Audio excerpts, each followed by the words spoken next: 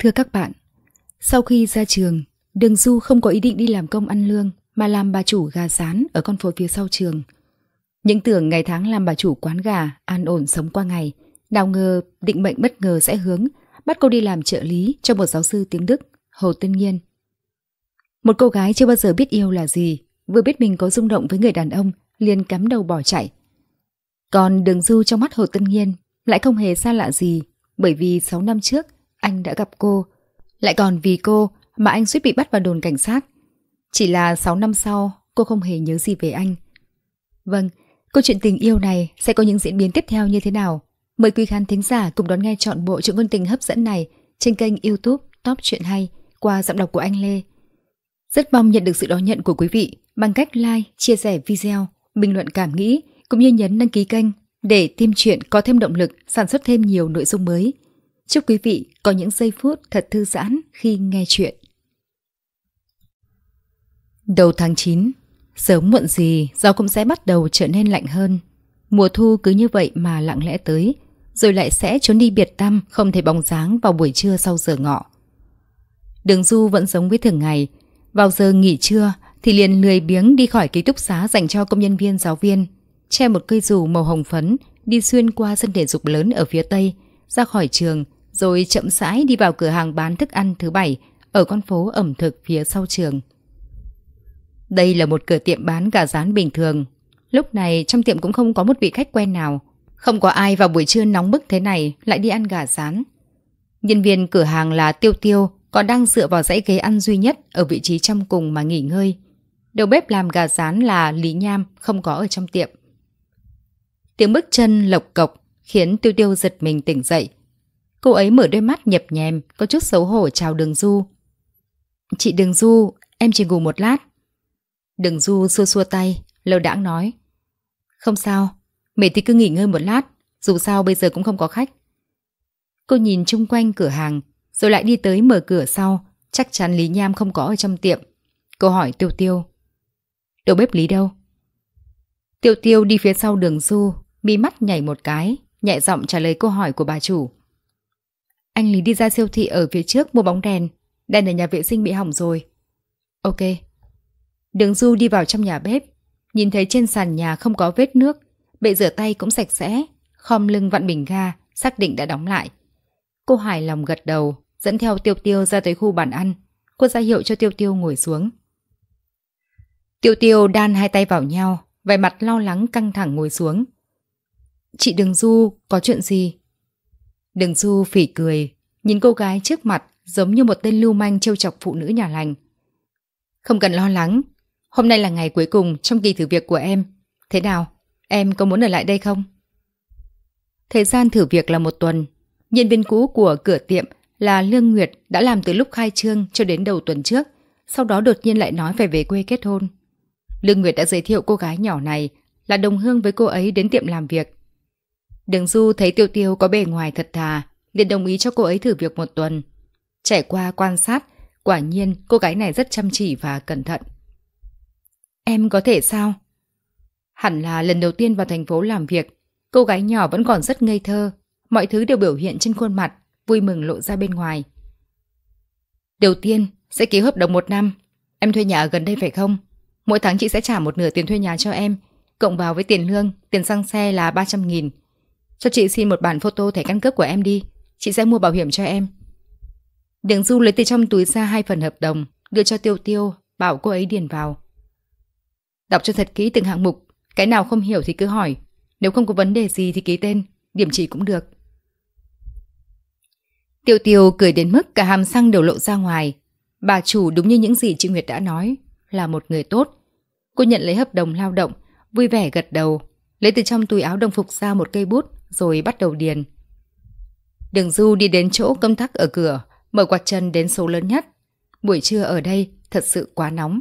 Nếu không phải muốn đột ngột kiểm tra nhân viên mới, thì lúc này cô đã ở trong phòng máy lạnh mà hưởng thụ rồi.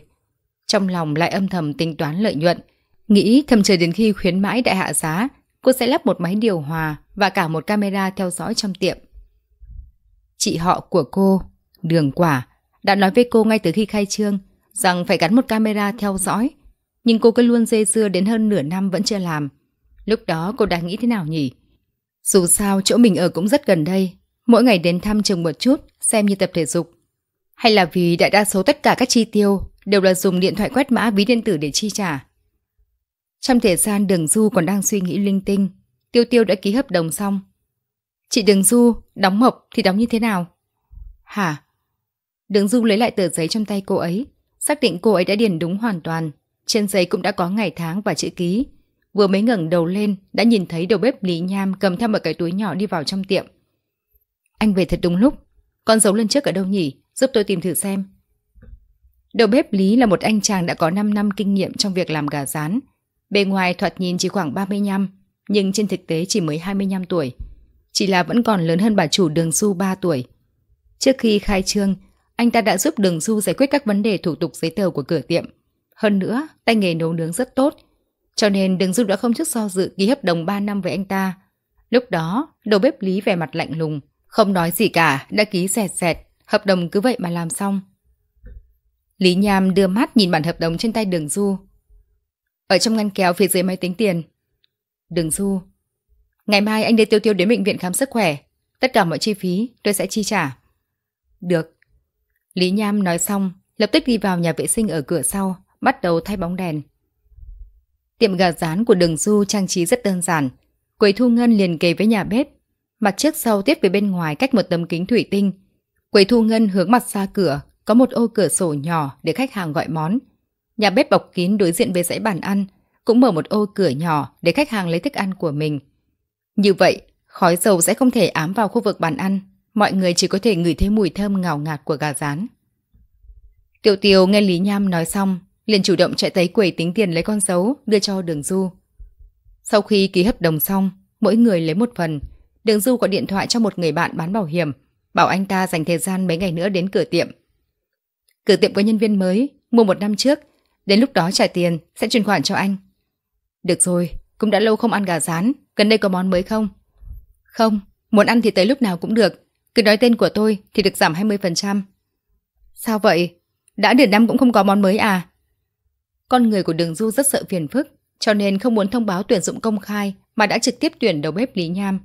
Lúc cửa hàng khai trương, anh ta đã đề nghị Đường Du chỉ làm hai loại phần ăn. Phần ăn A là một ly coca một đùi gà rán, phần ăn B là một ly coca một phần cánh gà rán. Đường Du nhìn Lý Nham, một lát sau đã gật đầu đồng ý với đề nghị này. Còn 3 ngày nữa là trường đại học tài chính hát khai giảng. Lúc nghỉ đông và nghỉ hè thường vắng khách, Đường Du mới có thể mở thêm dịch vụ đặt hàng trên mạng. Sau khi khai giảng, các sinh viên sẽ đến mỗi ngày. Đường Du liền hủy bỏ dịch vụ này. Điều này đã khiến cho một số cô cậu sinh viên khiếu nại. Đường Du chỉ mỉm cười không giải thích. Thời gian đi làm của Lý Nham và Tiêu Tiêu đều là buổi sáng từ 10 giờ 30 đến buổi chiều 6 giờ 30. Mỗi tháng được nghỉ 4 ngày nhưng phải báo trước. Sau khi khai giảng sẽ có sinh viên đi làm thêm. Một người tới vào buổi trưa, hai người vào buổi tối thay ca cho Lý Nham và Tiêu Tiêu đều là đàn em trong trường do tổ công tác sinh viên giới thiệu. Thời gian làm việc từ 6 giờ 30 đến 8 giờ 30, sau đó Đường Du sẽ đi bộ ra đóng cửa. Đường Du hôm nay ở trong tiệm, đợi cho đến 6 giờ 30 thì đóng cửa. Đến tiệm mì ở cách vách, ăn một tô mì trộn tương rồi mới chậm rãi quay về nhà. Đèn đường trên sân thể dục phía tây trường đại học hát đã sáng lên, có giam ba học sinh đang chạy bộ trên đường băng, cũng có một vài giáo viên già đã nghỉ hưu buổi tối đi tản bộ ngồi nghỉ chân rồi tùm lum tùm ba ở dưới gốc cây mà tán gẫu. Gió thu thổi quá, đường du đột nhiên cảm thấy khoảnh khắc này yên bình biết bao. Sau khi đường du tốt nghiệp cấp 2 thì cha mẹ cô ly hôn. Hơn nữa, cả hai cũng đều đã có gia đình riêng. Vợ chồng bác hai của cô cũng chính là ba mẹ của đường quả. Rất sợ sẽ có, có gì ghẻ thì nhất định có cha dượng. Sẽ gây ra bất lợi đối với sự phát triển về thể xác và tinh thần của đường du. Cho nên đã đón cô về nhà mình sống lấy cớ là làm bạn với đường quả. Cha mẹ đường du cũng vì chuyện này mà cảm thấy thiệt thòi cho con gái. Vì vậy, sau khi đường du lên cấp 3 thì chi phí sinh hoạt mỗi tháng đều là hai phần. Nhưng đường du tiêu tiền phung phí, cho nên thẻ ngân hàng luôn nằm trong tay đường quả. Sau này vào đại học, đường du thích viết tiểu thuyết ngôn tình. Cô đã có 9 bộ được đăng trên một trang web. Một nửa trong số đó đã được xuất bản thành sách, cũng coi như là một chút tiền tiết kiệm sau khi tốt nghiệp. Năm ngoái, Đường Du tốt nghiệp đại học hát, lại luyến tiếp con phố ẩm thực ở phía sau trường, Cho nên đã thuê căn phòng trong ký túc xá dành cho nhân viên và giáo viên, tiếp tục con đường sáng tác của mình. Bởi vì không muốn thường xuyên tiếp xúc với các giáo viên cũ, cho nên cô đã đi làm nhân viên văn phòng quèn ở một công ty trang trí nội thất gần trường học. Mỗi ngày gọi 200 cuộc điện thoại, gọi xong là có thể về nhà. Nhưng đừng du còn chưa làm hết 3 tháng thử việc thì đã xin nghỉ. Ngày nào cũng trốn ở trong nhà viết tiểu thuyết. Ngoại trừ xuống lầu lấy cơm hộp thì những lúc khác cơ bản đều không ra khỏi cửa. Chị họ đường quả đến tìm cô đi chơi, cũng thực sự không thể chịu đựng nổi bộ dạng này của cô. Cho nên đã xúi dục cô mở một cửa tiệm ở gần trường, không quan tâm đến chuyện phải chi bao nhiêu, chỉ cần có chút việc sửa đổi tính lười nhác của đường du là được. Đường quả và mối tình đầu của chị ấy cũng đã thuận lợi kết hôn sau khi tốt nghiệp đại học, còn có được một cặp song sinh. Có thể nói là cả việc học lẫn tình yêu đều có thu hoạch tốt. Bây giờ đang là lúc hạnh phúc tràn đầy. Đường du chửi thầm. Sau khi chị kết hôn, quả nhân không giống bình thường, đặc biệt thích quản lý người khác. Nhưng oán thì oán, đường du vẫn hết sức nghe lời, mỗi ngày đi qua đi lại ở gần trường, thỉnh thoảng lại đến soi mói các cửa hàng trong khu ẩm thực một phen. Cứ như vậy tới tới lui lui, không ngờ lại có thể khiến cho đường du phát hiện ra một chỗ tốt để mở cửa tiệm. Lúc đó, trước cửa cửa tiệm này cũng đang dán bốn chữ cho thuê mặt bằng. Lúc đó cửa tiệm gà rán vẫn còn là một tiệm trà sữa Cô còn nhớ, lần đầu tiên mình đến mua trà sữa ở cửa tiệm kia là đã hơn một năm trước. Lúc đó cô còn là sinh viên năm tư. Trên con phố ẩm thực phía sau trường, khai trương một tiệm trà sữa, có khuyến mãi mua một tặng một. Cô bị cô bạn cùng phòng là Khổng Lập Hoa dựng đầu kéo đến đây một lần. Sau khi uống một hớp, Đường Du chép miệng. Tao cá, chỉ được nửa năm thôi. Khổng Lập Hoa gật đầu. Tao cá ba tháng, không hơn. Chỉ là cuối cùng, cả hai người cũng không ai đoán đúng. Cửa tiệm trà sữa này bởi vì giá rẻ mà thu hút được rất nhiều sinh viên cho đến khi các cô tốt nghiệp. Nhưng mà có một vài thứ cho dù đến trễ, cũng mãi mãi không phải là quá muộn. Năm sau, Đường Du đã tiếp nhận tiệm trà sữa này. Cô giới thiệu với người chị họ về ý tưởng của mình khi gọi video. Em muốn mở một cửa hàng gà rán, chị cảm thấy thế nào? Em đã nghiên cứu thực tiễn nhiều năm qua, suốt trên con phố ẩm thực này, không có một cửa hàng gà rán nào ăn ngon cả. Chuyện như vậy làm sao có thể tồn tại trong cuộc sống sinh hoạt của chúng ta được. Cô còn vỗ ngực mình. Cho nên, phố ẩm thực đại học hát phải có người như em đây để duy trì. Đường quả nghĩ thầm trong đầu, cảm thấy ý tưởng này cũng không tệ lắm, nhưng ngoài miệng vẫn độc mồm phán một câu. Chị thế là em vẫn còn tiếc rẻ 9 đồng phí cơm hộp cho tiệm ca mà thôi. Đường Du cười hì hì thừa nhận. Thì cứ cho là như vậy đi, xem như là quyết định. Hai ngày nữa, chị có rảnh thì chuyển tiền cho em nhé. Đường quả lúc trước cũng chỉ thuận miệng nói một câu, không ngờ đường du lại thật sự muốn gây dựng sự nghiệp. Lăn lộn thì lăn lộn, cũng tốt hơn em gái suốt ngày ở nhà, ăn không ngồi rồi chờ ba bữa cơm. Cô ấy liền tùy tiện chuyển tiền cho em mình, dặn dò một câu cẩn thận làm việc rồi bỏ qua, mặc kệ em gái thích làm gì thì làm. Hôm cửa hàng chính thức khai trương, đường du học theo chiêu cũ của tiệm trà sữa, mua một tặng một. Đúng 10 giờ mở cửa mua bán, cô bảo trai đẹp Lý Nham và Lương Nguyệt, nhân viên cửa hàng, vào ngày hôm đó làm cho cô hai phần ăn AB, chụp ảnh thật đẹp rồi gửi cho bạn bè trên mạng. Đường Du Phố ẩm thực ở trường chúng ta đã mở một cửa hàng gà rán. Bà chủ rất thoải mái, chỉ có hai loại phần ăn. Mình đã ăn xong hai phần, còn muốn gọi thêm ba phần. Xin hỏi các bạn bè nhỏ của chúng ta có ai muốn uống coca không? Đường Du cập nhật thông tin, lập tức có không ít người trả lời cô. Em trai học máy tính. Chị Đường Du chị tới trường học thật à? Cửa tiệm ở đâu vậy? Em tới ngay. Em gái học tin tức. Đã nói cùng nhau giảm béo, mà chị lại lặng lẽ đi ăn gà rán một mình. Cho em một đi coca không lấy đá, em đến ngay. Em gái A học quản lý hành chính nhà nước. Chị yêu ơi, món gà rán này nhìn ngon quá, mau cho em địa chỉ đi. Em gái B học quản lý hành chính nhà nước. Chị ơi, em cũng muốn ăn, đúng lúc vừa mới tan học. Bạn cùng phòng A. Ăn ăn ăn, chỉ biết ăn. Hôm trước họp mặt câu lạc bộ, sao không tới hả? Bạn cùng phòng B. Lầu trên nói đúng đấy, nhất định phải bù đấy nhé.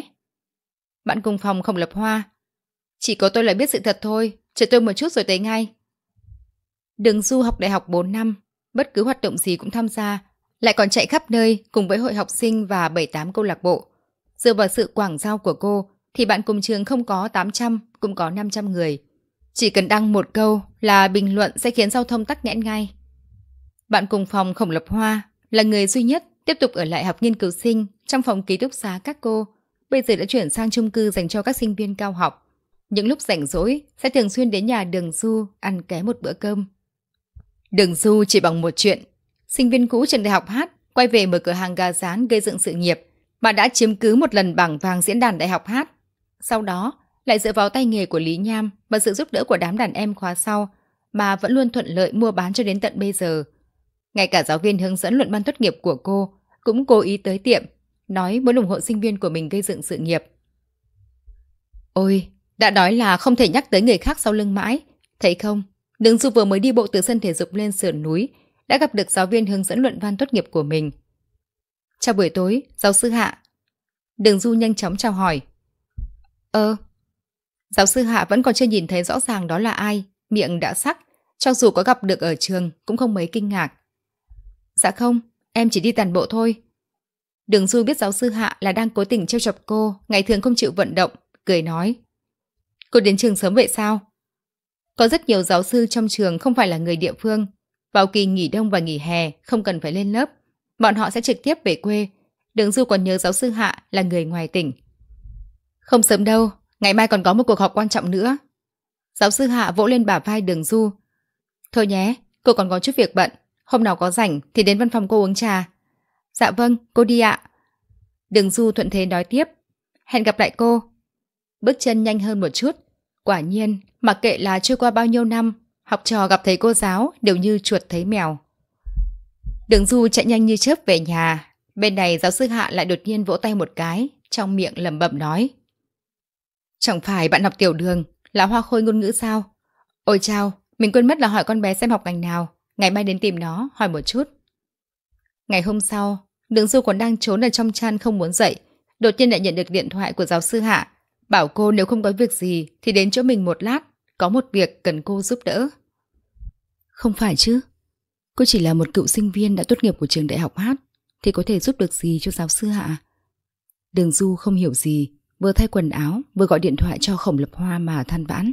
Cực kỳ hối hận vì sao tối hôm qua lại đi con đường kia. Nếu không thì giáo sư Hạ cũng sẽ không nhớ tới cô. Khổng lập hoa còn đang ở quê, giọng nói không giữ được vui sướng khi thấy người gặp họa. Biết đâu chừng là làm trợ lý gì đó cho cô ấy. Nếu không, tao cũng không nghĩ ra được là có chuyện gì. Chẳng lẽ giáo sư Hạ muốn sắp xếp cho mày coi mắt? Khổng lập hoa tuy rằng đang học nghiên cứu sinh, cũng không phải là sinh viên được giáo sư Hạ hướng dẫn, nhưng cũng có học qua lớp của cô ấy. Vậy mà mày cũng nghĩ ra. Đừng Du tức giận nói. Tao không nói nữa, Mày mau về trường cho tao Tiền gà rán học kỳ một thiếu tao còn chưa trả đấy Được rồi được rồi Ngày mai chị đây quay về Nhớ tiếp giá đấy Đường Du cũng không kịp ăn bữa sáng Tuy rằng bình thường cũng không ăn đúng giờ gì Cô không ngừng tăng tốc Cho tới khi ngừng lại ở trước văn phòng của giáo sư Hạ Giáo sư Hạ đang ngồi ở trước bàn làm việc Trò chuyện với một nam giáo sư khác đã lớn tuổi có lẽ cũng không chênh lệch bao nhiêu so với giáo sư Hạ Lúc trước đường Du chưa từng gặp Không biết có phải là giáo sư mới đến không Đường Du có gõ cửa. Giáo sư Hạ. Ôi, giáo sư Hạ nhìn ra cửa, thấy là đường Du đến, lập tức đứng lên vẫy tay với cô. Chờ cô đến gần, liền giới thiệu cô với vị nam giáo sư bên cạnh. Đây là đường Du, em đã nói với anh một lần. Con bé là sinh viên ưu tú tốt nghiệp từ trường chúng ta. Sau đó lại xoay sang giới thiệu với đường Du.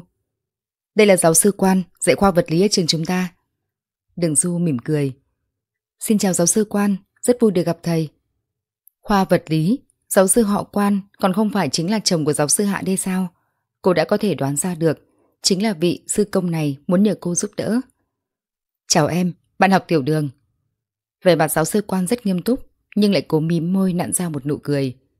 Có lẽ giữa vẻ nghiêm túc của mình sẽ khiến cho học trò của vợ mình hoảng sợ. Chào hỏi xong, liền xem như quen biết. Giáo sư Hạ cũng không nói nhiều, liền trực tiếp mở miệng hỏi đường du. Tiểu đường, Chuyện là như thế này, hình như cô nhớ không lầm thì ngôn ngữ hai của em là tiếng Pháp phải không? Đúng vậy. Dưới ánh mắt chờ mong của giáo sư Hạ và giáo sư Quan, Đường Du cũng không hiểu vì sao mình lại gật đầu. Dạ đúng thế ạ. Lúc đó, cô rất thích xem phim điện ảnh Pháp bởi vì thuận tiện cho việc xem phim cho nên mới trực tiếp đăng ký học tiếng Pháp. Nhưng sau khi tốt nghiệp lại đổi sở thích, xem manga anime cùng với khổng lập hoa, tiếng Pháp đã bị cô xếp gió. Phiên dịch và đối thoại cơ bản thì em có thể, đúng không? Những lời này của giáo sư Hạ tuy là câu hỏi nhưng giọng điệu lại rất khẳng định là cô có thể. Chuyện là như thế này, khoa vật lý của giáo sư Quang có một vị giáo sư mới tới. Cậu ấy cần một trợ lý riêng biết tiếng Pháp, có thể giúp cậu ấy phiên dịch một chút tài liệu. Trong lúc cấp gáp không tìm được ai, liền hỏi xem em có thể giúp được hay không. Sao ạ? Đừng du ngay vậy, liền hết sức sửng sốt. Quả nhiên, lại để cho cái miệng quạ đen của khổng lập hoa đoán đúng. Cô lập tức tỏ ra hoảng loạn xua xua tay. Ờ cô ơi, em không được đâu, em chỉ là lơ mơ thôi. Làm gì có ai tự nói mình như vậy? Giáo viên tiếng Pháp của em đã nói với cô. Cô ấy nói em học hành rất nghiêm túc, ấn tượng với em rất tốt. Ánh mắt giáo sư hạ sáng như đuốc nhìn về phía đường du.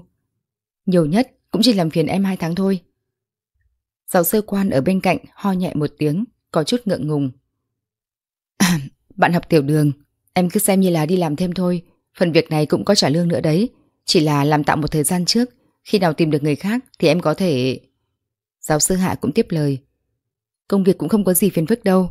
Cô nhớ lúc trước khi em mở cửa hàng gà rán, không phải cũng đã từng đi làm ở một công ty quảng cáo sao? Đại khái cũng chỉ là làm một vài công việc văn thư có liên quan. Cô tin sinh viên mình dạy ra đều là những người ưu tú. Đây chính là viên đạn học đường. Đường Du nhìn về phía hai vị giáo sư mà bí mắt liên tục nháy lên. Triệt xác nói với cô rằng phải nhanh chóng từ chối. Nhưng nếu không phải bọn họ thực sự không tìm được người thì cũng sẽ không nhờ đến cô. Dưới ánh mắt của hai vị tiền bối, cô khẽ cắn môi miễn cưỡng gật đầu, nhưng ngoài miệng vẫn uyển chuyển nói. Vậy thì em thử trước một chút xem sao. Nếu thực sự không được thì thầy và cô cũng nên có chuẩn bị nhé. Được rồi, em cứ thử trước xem sao, thầy sẽ nhanh chóng tìm người. Giáo sư quan giống như vừa chút được một gánh nặng, vui vẻ vỗ lên lưng ghế giáo sư hạ. Cô biết tiểu đường là một học trò ngoan. Giáo sư hạ thì không hề lo lắng chuyện đường du sẽ không nhận lời. Cô bé này rất lương thiện. Thấy ông xã mình khẩn trương từ tối hôm qua cho đến bây giờ. Cũng không biết là anh chàng sắc ly kia là thần thánh phương nào mà có thể khiến cho cả hiệu trưởng và ông xã cô lo lắng đến mức như vậy. Trong tay bọn họ, có ai mà không phải đang nắm giữ một vài hạng mục quan trọng. Cứ nhất quyết phải đưa ra yêu cầu tìm một trợ lý riêng biết tiếng Pháp. Nhưng mà lúc này khuôn mặt giáo sư Hạ vẫn như bình thường, mỉm cười nhìn giáo sư Quan và Đường Du nói chuyện với nhau về công việc. Nếu như Đường Du đã đồng ý, giáo sư Quan cũng không khách sáo nữa, trực tiếp nói vào công việc. Thầy cho em địa chỉ email, em liên lạc với Sắc Ly trước, xem cậu ta cần việc gì, cố gắng thỏa mãn cậu ta. Nếu có gì khó khăn thì cứ trực tiếp tới tìm thầy, đây là số điện thoại của thầy. Còn đưa cho Đường Du một túi hồ sơ. Ở đây là một ít tư liệu về bản thân Sắc Ly, thầy nghĩ là em cần có nó. Vâng ạ. Trong lòng đường du cũng không hiểu vị sắc ly kia rốt cuộc là ai. Vì sao mà sư công lại khẩn trương như vậy? Cô cũng không ở lại lâu hơn. Chờ sau khi giáo sư quan đã dặn dò mọi chuyện xong xuôi, cô cũng liền chào tạm biệt hai vị giáo sư rồi ra về, cầm túi hồ sơ trong tay, đi về phía cửa hàng gà rán của mình. Hôm nay cửa tiệm vừa mới mở cửa, nhân viên vừa mới ký hợp đồng là Tiêu Tiêu, còn đang quét dọn vệ sinh từ trong ra ngoài. Đường Du ngồi ở vị trí mà cô yêu thích nhất, góc nhà, vừa đặt xem các tư liệu mà giáo sư quan, sư công đưa cho mình, vừa gọi điện thoại cho Khổng Lập Hoa. Đường Du Này, bản lĩnh coi bói của Khổng Đại Tiểu Thư mày cũng thật là không giảm chút nào nhỉ. Quả nhiên là bị mày nói trúng rồi. Khổng Lập Hoa ở đầu dây bên kia điện thoại, cười đến mức hoa lá tơi bời. Chỉ không cái gì nữa, cái miệng của tao đã được khai quang rồi. Chuyện này đúng là có một sự tích. Năm đó, lúc bọn họ học quân sự, vào một ngày nắng gắt, Đường Du oán giận thời tiết khắc nghiệt, vì sao lại không có một chút mưa? Bị Khổng Lập Hoa bên cạnh nghe thấy trả lời. Cho dù trời có mưa, thì trường vẫn có sân vận động trong nhà đấy. Những lời này vừa nói xong, bầu trời còn đang oi bức bỗng dưng đổ mưa. Tiếp đó, huấn luyện viên quả nhiên đã dẫn bọn họ vào sân vận động trong nhà. Bạn cùng phòng A đứng ở giữa hai người, kinh ngạc khen ngợi cô một cách đầy châm chọc. Cái miệng của mày được khai quang rồi sao? Khổng Lập Hoa cười thỏa mãn, mới tò mò hỏi. Thế nào? Thật sự muốn đi làm trợ lý cho giáo sư Sắc Ly kia à? Sắc Ly là người nước ngoài sao? Giáo sư quan nói, anh ta là sinh viên cao học từ bên Đức về. À, khoan đã, để tao xem trong tư liệu của hắn có viết không. Đường Du bây giờ mới nhớ ra cần phải xem túi hồ sơ nọ. Trong túi hồ sơ cũng chỉ có mấy tờ giấy, mấy trang đầu viết bằng tiếng Anh. Cô đọc sơ qua, hẳn là vị Sắc Ly này đã từng tham gia một chương trình nghiên cứu gì đó rồi đạt được giải thưởng vân vân. Có không ít thuật ngữ chuyên ngành rất khó hiểu. Đường Du lật đến tờ cuối cùng mới là sơ yếu lý lịch nhận việc có đóng dấu. Góc trên bên phải có một tấm ảnh chụp đen trắng. Cô nhướng mày nghĩ thầm, cũng rất đẹp trai đấy. Người trong ảnh có hốc mắt khá sâu, ngũ quan chính trực, xương gò má góc cạnh tương đối rõ ràng, cho người ta một loại cảm giác lạnh lùng không dễ trêu chọc. Mấu chốt là hắn còn rất trẻ. Đường Du bất chi giác đọc sơ yếu lý lịch ra tiếng. Sắc ly Hồ, tên là Hồ Tân nhiên Cái tên này... Vì sao cô lại cảm thấy quen thuộc như vậy? Không chờ đường du đọc tiếp, Khổng Lập Hoa đã chen vào nói nói. Đường du nhỏ bé, sao mày lại phát âm sắc ly giống như Cherry vậy? Đến khi hai người gặp mặt, không phải mày sẽ nói với người ta là Chào anh Cherry Hồ, tôi tên là Cherry Đường đó chứ. Tao sắp cười chết thôi. Nói đến thật là trùng hợp, tên tiếng Anh của Đường Du đã là Cherry, phát âm tiếng Anh của cô cũng không tốt lắm, bù lại tiếng Pháp lại không tệ. Mày đừng có cười nữa. Đường Du không hề chớp mắt một cái, cười lạnh nói.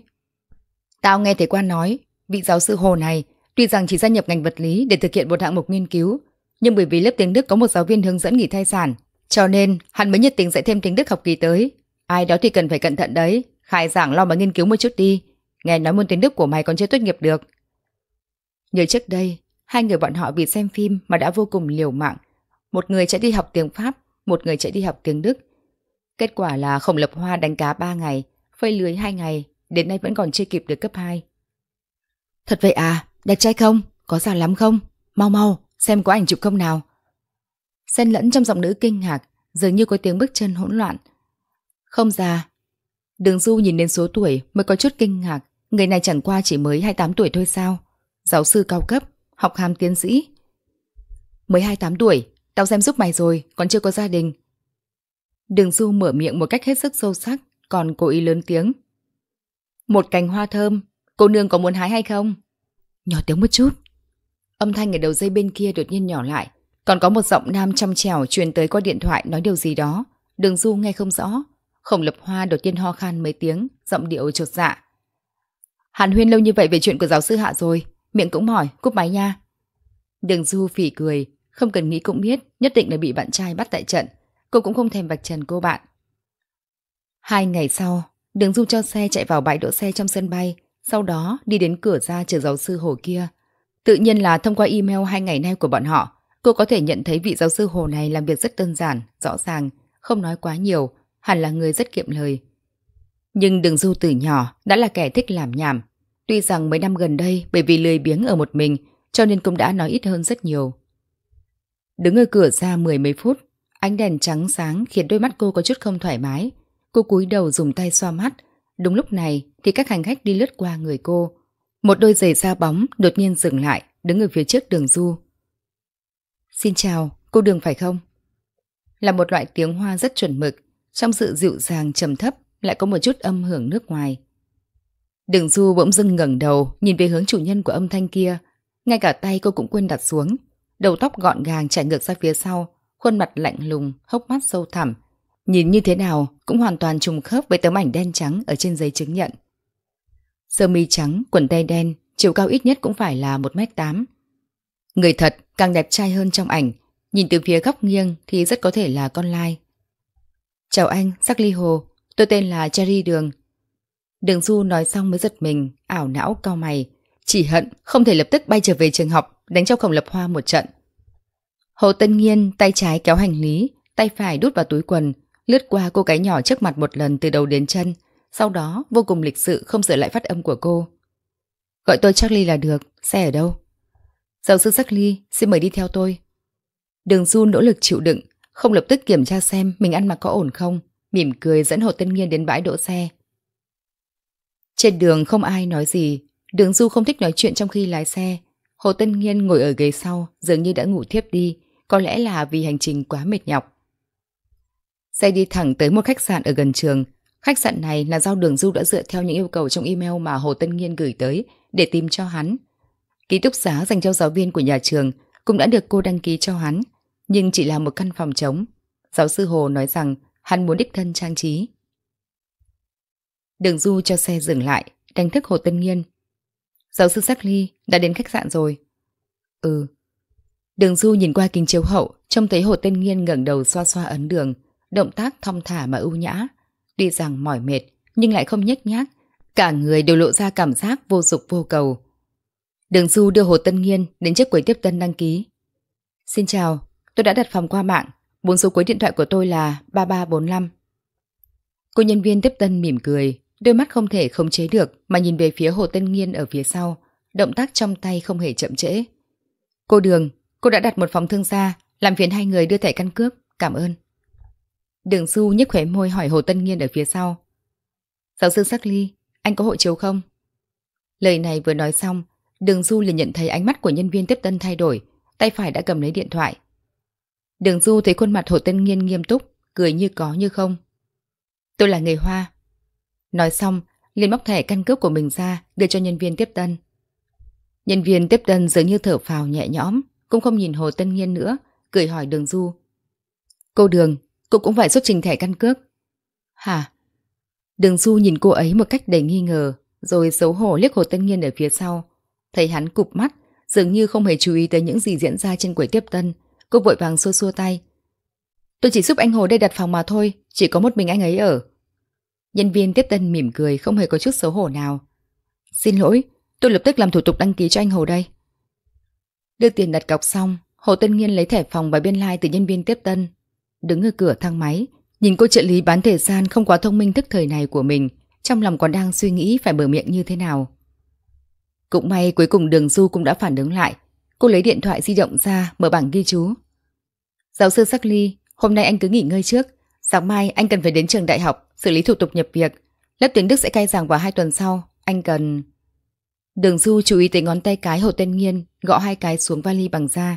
Cô dừng lại, nghiêng đầu nhìn hắn với đôi mắt ngơ ngác đặc trưng của một người mới đi làm. Cảm ơn cô đã nhắc nhở. Nhưng mà cô không cần phải giúp tôi ghi lại những điều này. Nếu có yêu cầu gì thì tôi sẽ nhờ cô hỗ trợ thêm. Cô nhờ chú ý xem email là được. Khuôn mặt thổ tên Nghiên có chút mất kiên nhẫn. Trong lòng cũng âm thầm mắng giáo sư quan một lần. Không biết lừa được ở đâu một cô trợ lý mới toanh này. Thả tới chỗ hắn để hoài nghi nhân sinh hay sao? Hả? Đừng du thật ra cũng chỉ lên lớp chuyên ngành này 2 tháng. Quả thật là không biết một trợ lý cần phải làm gì. Cho nên mới cho rằng những gì có thể làm được thì đều làm cả. Xem email là được sao? Làm theo những gì trong email là được.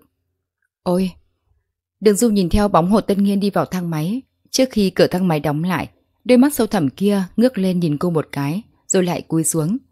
Bây giờ cô mới hiểu được là mình đã xen vào việc của người khác quá nhiều. Cô nhớ lại những email qua lại giữa hai người. Hồ Tân Nghiên chỉ bảo cô làm ba chuyện.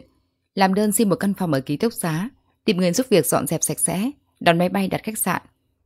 Cô mở to mắt chừng chừng nhìn về hướng cửa thang máy. Hừ, ai mà thèm xen vào việc của anh. Dù sao đi nữa, chỉ cần trước khi trợ lý thật sự của hắn đến, cô cứ làm tốt mọi chuyện là được, không thể làm mất mặt giáo sư hạ được. Đừng du dậm chân một cái. Ôi, đã quên hỏi anh ta về số điện thoại. Mỗi ngày đều phải check email thật là phiền phức. Cô đi ra hướng bên ngoài khách sạn, trực tiếp lái xe về cửa hàng gà rán trả cho Lý Nham. Đúng vậy, chiếc xe này không phải là của đường du. Sáng nay cô đã mượn tạm ở chỗ đầu bếp nhà mình. Nghĩ lại thật là có cảm giác thất bại. Một đầu bếp sống ở thành phố Hát có nhà có xe mà phải chịu thiệt thòi đến làm ở cửa hàng gà rán của cô. Vừa nhìn đã biết là một người đàn ông có quá khứ. Nhưng nhìn khuôn mặt ta là lão đại đừng chọc đến ta của hắn, thì lòng hiếu kỳ của đường du liền bỗng chốc tan tành, cho nên cô cũng lười đi hỏi. Cô ghé qua một cửa tiệm bánh ngọt, mua một phần dương chi cam lộ về nhà. Hôm nay là ngày đầu tiên khai giảng, trên đường đi có không ít nam nữ sinh viên khóa sau. Cô còn hàn huyên mấy câu với bọn họ. Kết quả là con đường chỉ cần đi 10 phút thì hôm nay phải mất 30 phút đồng hồ mới có thể về đến nhà. Về đến nhà, khi đang cúi đầu thay giày, đường du đột nhiên nhớ tới ánh mắt Hồ Tân Nghiên nhìn mình. Cô lại đi đến chỗ kính soi cả người mà xem xét. Tóc đuôi ngựa cột cao, đi giày màu trắng chín phân áo thun ngắn, quần jean, sạch sẽ, không có vấn đề gì. Trong đầu cô bất chợt có một tia sáng lóe lên. Đám đàn em sinh viên có thể nhận ra cô, lại cùng cô trò chuyện bình thường. Nhưng còn Hồ Tân Nghiên làm sao có thể nhận biết được ai là cô giữa muôn vàn người trong sân bay kia chứ? Chỗ lưới ra cũng không phải chỉ có một mình cô là nữ giới.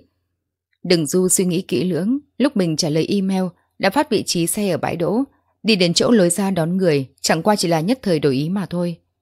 Có nghĩa là Hồ Tân Nghiên biết cô từ trước sao? Đảo mắt một cái đã đến 8 giờ tối, Khổng Lập Hoa cố ý đến nhà Đường Du ở một đêm, chuẩn bị sẵn sàng cho chuyến săn sen vào lúc 0 giờ tối hôm nay. Đường Du đeo mắt kính ngồi ở trước máy tính mua bút thành văn, khoe mắt cũng lười liếc nhìn thiếu nữ tạm gọi là xinh đẹp, đang quay cuồng ở trên giường kia. Ôi trời ơi, cái váy này đẹp quá, còn có cả áo gió này nữa. Wow, còn có cả bộ áo ngủ bằng gen. Đúng là chuẩn bị riêng cho tiểu tiên nữ tao đây mà. Không lập hoa lần lượt bỏ hết tất cả các món đồ muốn mua vào giỏ hàng, lại đứt mắt nhìn đường Du một cái, vẫn chưa buông tha. Tao nghe một con bé học ngành vật lý nói, Sắc Ly rất là đẹp trai, có phải là thật không? Ừ, cũng tạm được. Đường Du đang viết bản thảo giống như một động vật không có cảm tình, chỉ trả lời một cách hết sức qua loa. Có ảnh chụp không? Khổng lập hoa bỏ dậy khỏi giường, ngồi xuống bên cạnh đường Du, hai tay ngoan ngoãn đặt trên đùi, đôi mắt to lấp lóe. Cho tao xem nào. Đường Du đã gõ xong một chữ cuối cùng, gỡ mắt kinh xuống, lại híp mắt ngẩng đầu nhìn cô ấy cười đùa nói. Tổng giám đốc bá, có biết bạn gái anh ta thèm khát vậy không? Bạn trai của Khổng Lập Hoa là tổng giám đốc hành chính của một công ty, cho nên bị các bạn cô gọi là tổng giám đốc bá để trêu chọc. Ánh mắt Khổng Lập Hoa trở nên lập lòe, không biết bản thân mình đang nghĩ gì, cả khuôn mặt đều bị Đường Du nhìn đến mức đỏ bừng lên, nhưng vẫn đũng nịu, nói. Cho tao xem đi. Qua tuần sau là mày có thể đi học lớp tiếng Đức của anh ta rồi, đến lúc đó tha hồ mà nhìn. Tuy rằng giáo sư Hồ kia chưa từng nói phải giữ bí mật về tư liệu của anh ta, nhưng cuối cùng Đường Du vẫn không cho Khổng Lập Hoa xem ảnh chụp. Cô chuyển đề tài. Tối nay mua được cái gì rồi? Tao phải mua máy điều hòa cho tiệm gà rán, còn mua camera theo dõi nữa. Mày có thương hiệu nào tốt giới thiệu? Lần trước tao mua chai nước hoa kia được giảm giá, mày có muốn mua cùng với tao không? Quả nhiên, đối với phụ nữ mà nói, cho dù nam thần có đẹp trai đến mức nào thì cũng không quan trọng bằng mua sắm. Khổng Lập Hoa tiếp tục kéo đường Du, tiếp tục dạo sàn thương mại điện tử.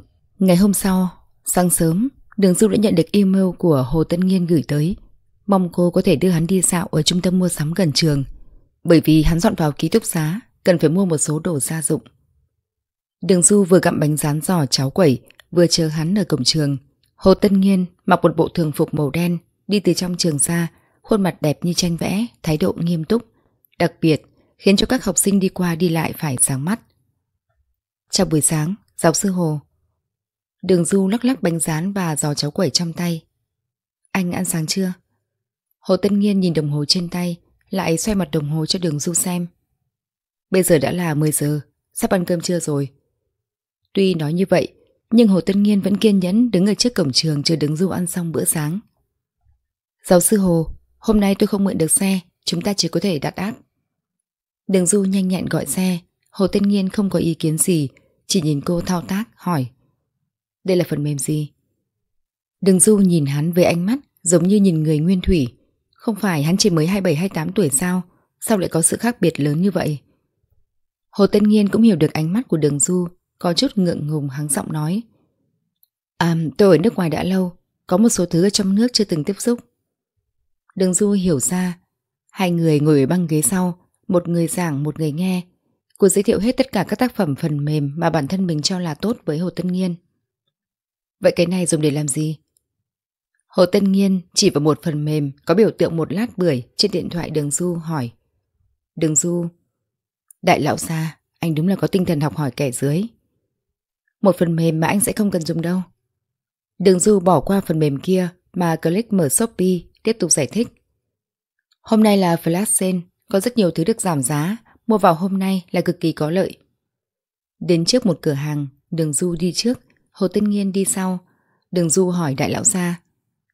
Anh có cần những thứ này không? Hay là cứ xem qua trước? Hồ Tân Nghiên lấy từ trong túi ra một tờ giấy nốt đưa cho đường Du. Cần hết những thứ này, cô cứ chọn, thoải mái là chính. Đường Du nhận lấy mảnh giấy nốt, cúi đầu nhìn một cái, lại ngẩng đầu nhìn Hồ Tân Nghiên bằng một ánh mắt nghi ngờ, trong lòng băn khoăn. Tôi chọn sao? Ừm. Đôi mắt cô mở to, chớp chớp, giống như đang suy nghĩ điều gì đó không tốt. Hồ Tân Nghiên liền cảm thấy bất an, bổ sung thêm. Tôi đứng nhìn ở phía sau.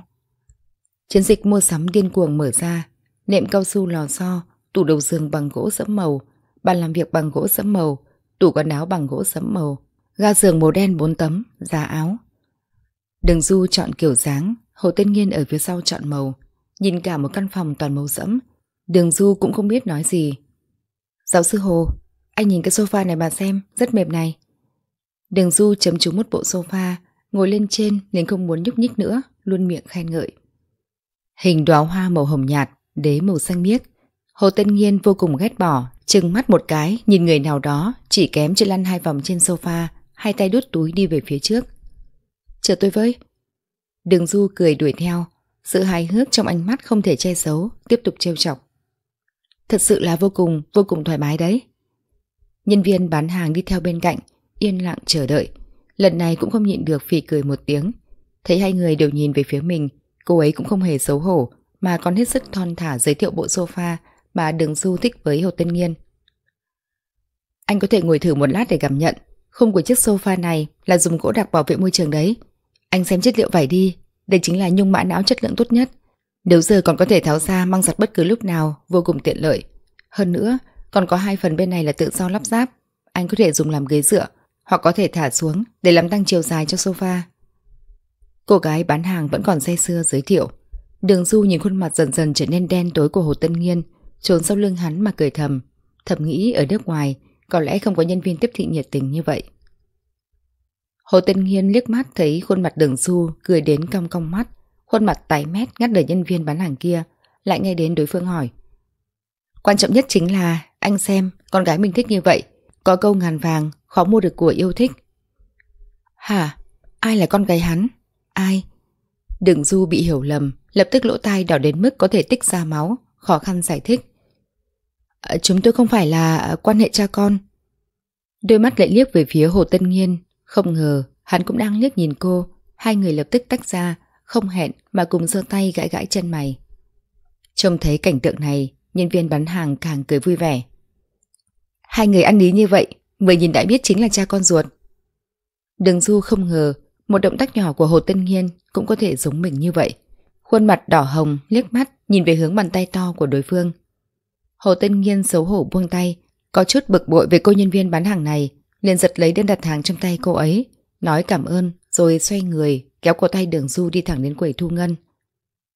Đường Du bị hắn kéo, chỉ có thể cố gắng đuổi theo, bàn tay to lớn của hắn hình thành một thái cực đối lập hoàn toàn với cổ tay trắng nõn của đường Du.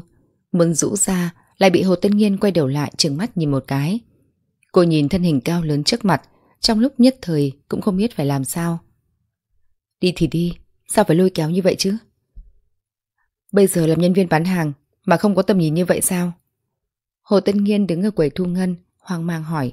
Hắn nhìn đường du chỉ cao đến bả vai mình, tay áo dài sắn lên tám phần, quần jean màu lam. Bởi vì cô ấy đi dạo phố mà mang giày trắng đế bằng, khuôn mặt nhỏ trắng nõn không trang điểm. Ôi, không thể không nói, thật là giống hệt như một nữ sinh mười mấy tuổi.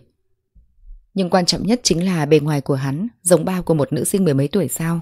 Năm nay chỉ mới 28 tuổi. Hồ Tân Nhiên lần đầu tiên sinh ra sự nghi ngờ về phong cách ăn mặc của mình. Đường Du cúi đầu xoa cổ tay bị Hồ Tân nghiên làm đỏ, nhỏ giọng nói thầm. Tôi còn lâu mới có người cha như anh. Khiến Hồ Tân nghiên tức giận đến mức lại chừng cô thêm một cái. Sau khi trở về, Đường Du kể chuyện này cho Khổng Lập Hoa nghe. Khổng Lập Hoa cười đến mức ngã người trên sofa không đứng dậy nổi. Giáo sư sắc ly cổ hũ như vậy sao? Ai bảo mày không dẫn tao theo? Không phải nha, dẫn tao theo có khi nào lại bị nói rằng tao và mày đều là con gái của giáo sư sắc ly không? Đừng Du buồn rầu hai tay chống cằm, nhìn bộ dạng của mình qua gương. Bình thường nếu ra ngoài không có chuyện gì quan trọng, cô cũng sẽ không trang điểm. Quần áo thì cái gì thoải mái sẽ mặc cái đó.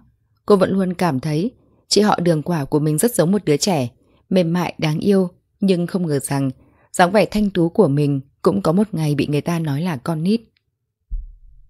Chỉ có thể nói là gen di truyền của nhà họ đường quá mạnh mẽ.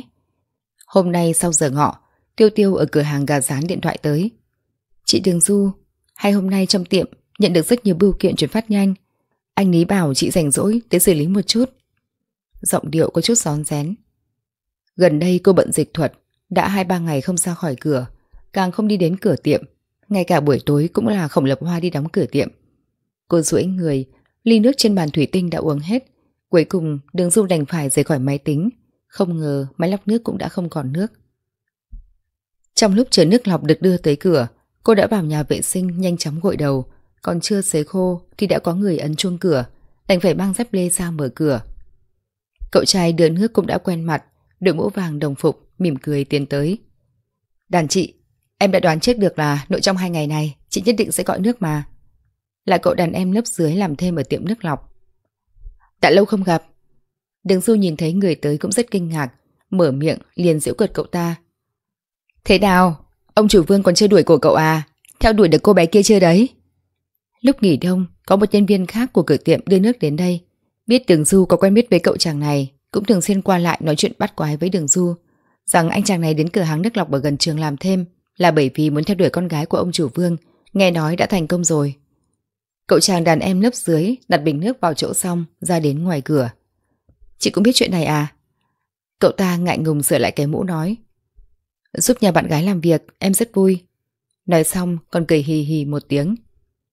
Chú Vương bảo em hỏi chị, tuần trước chị nói đưa nước đến lầu 5 khu đối diện, chính xác là... Cậu ta nói sang chuyện khác. Đừng du vỗ chán.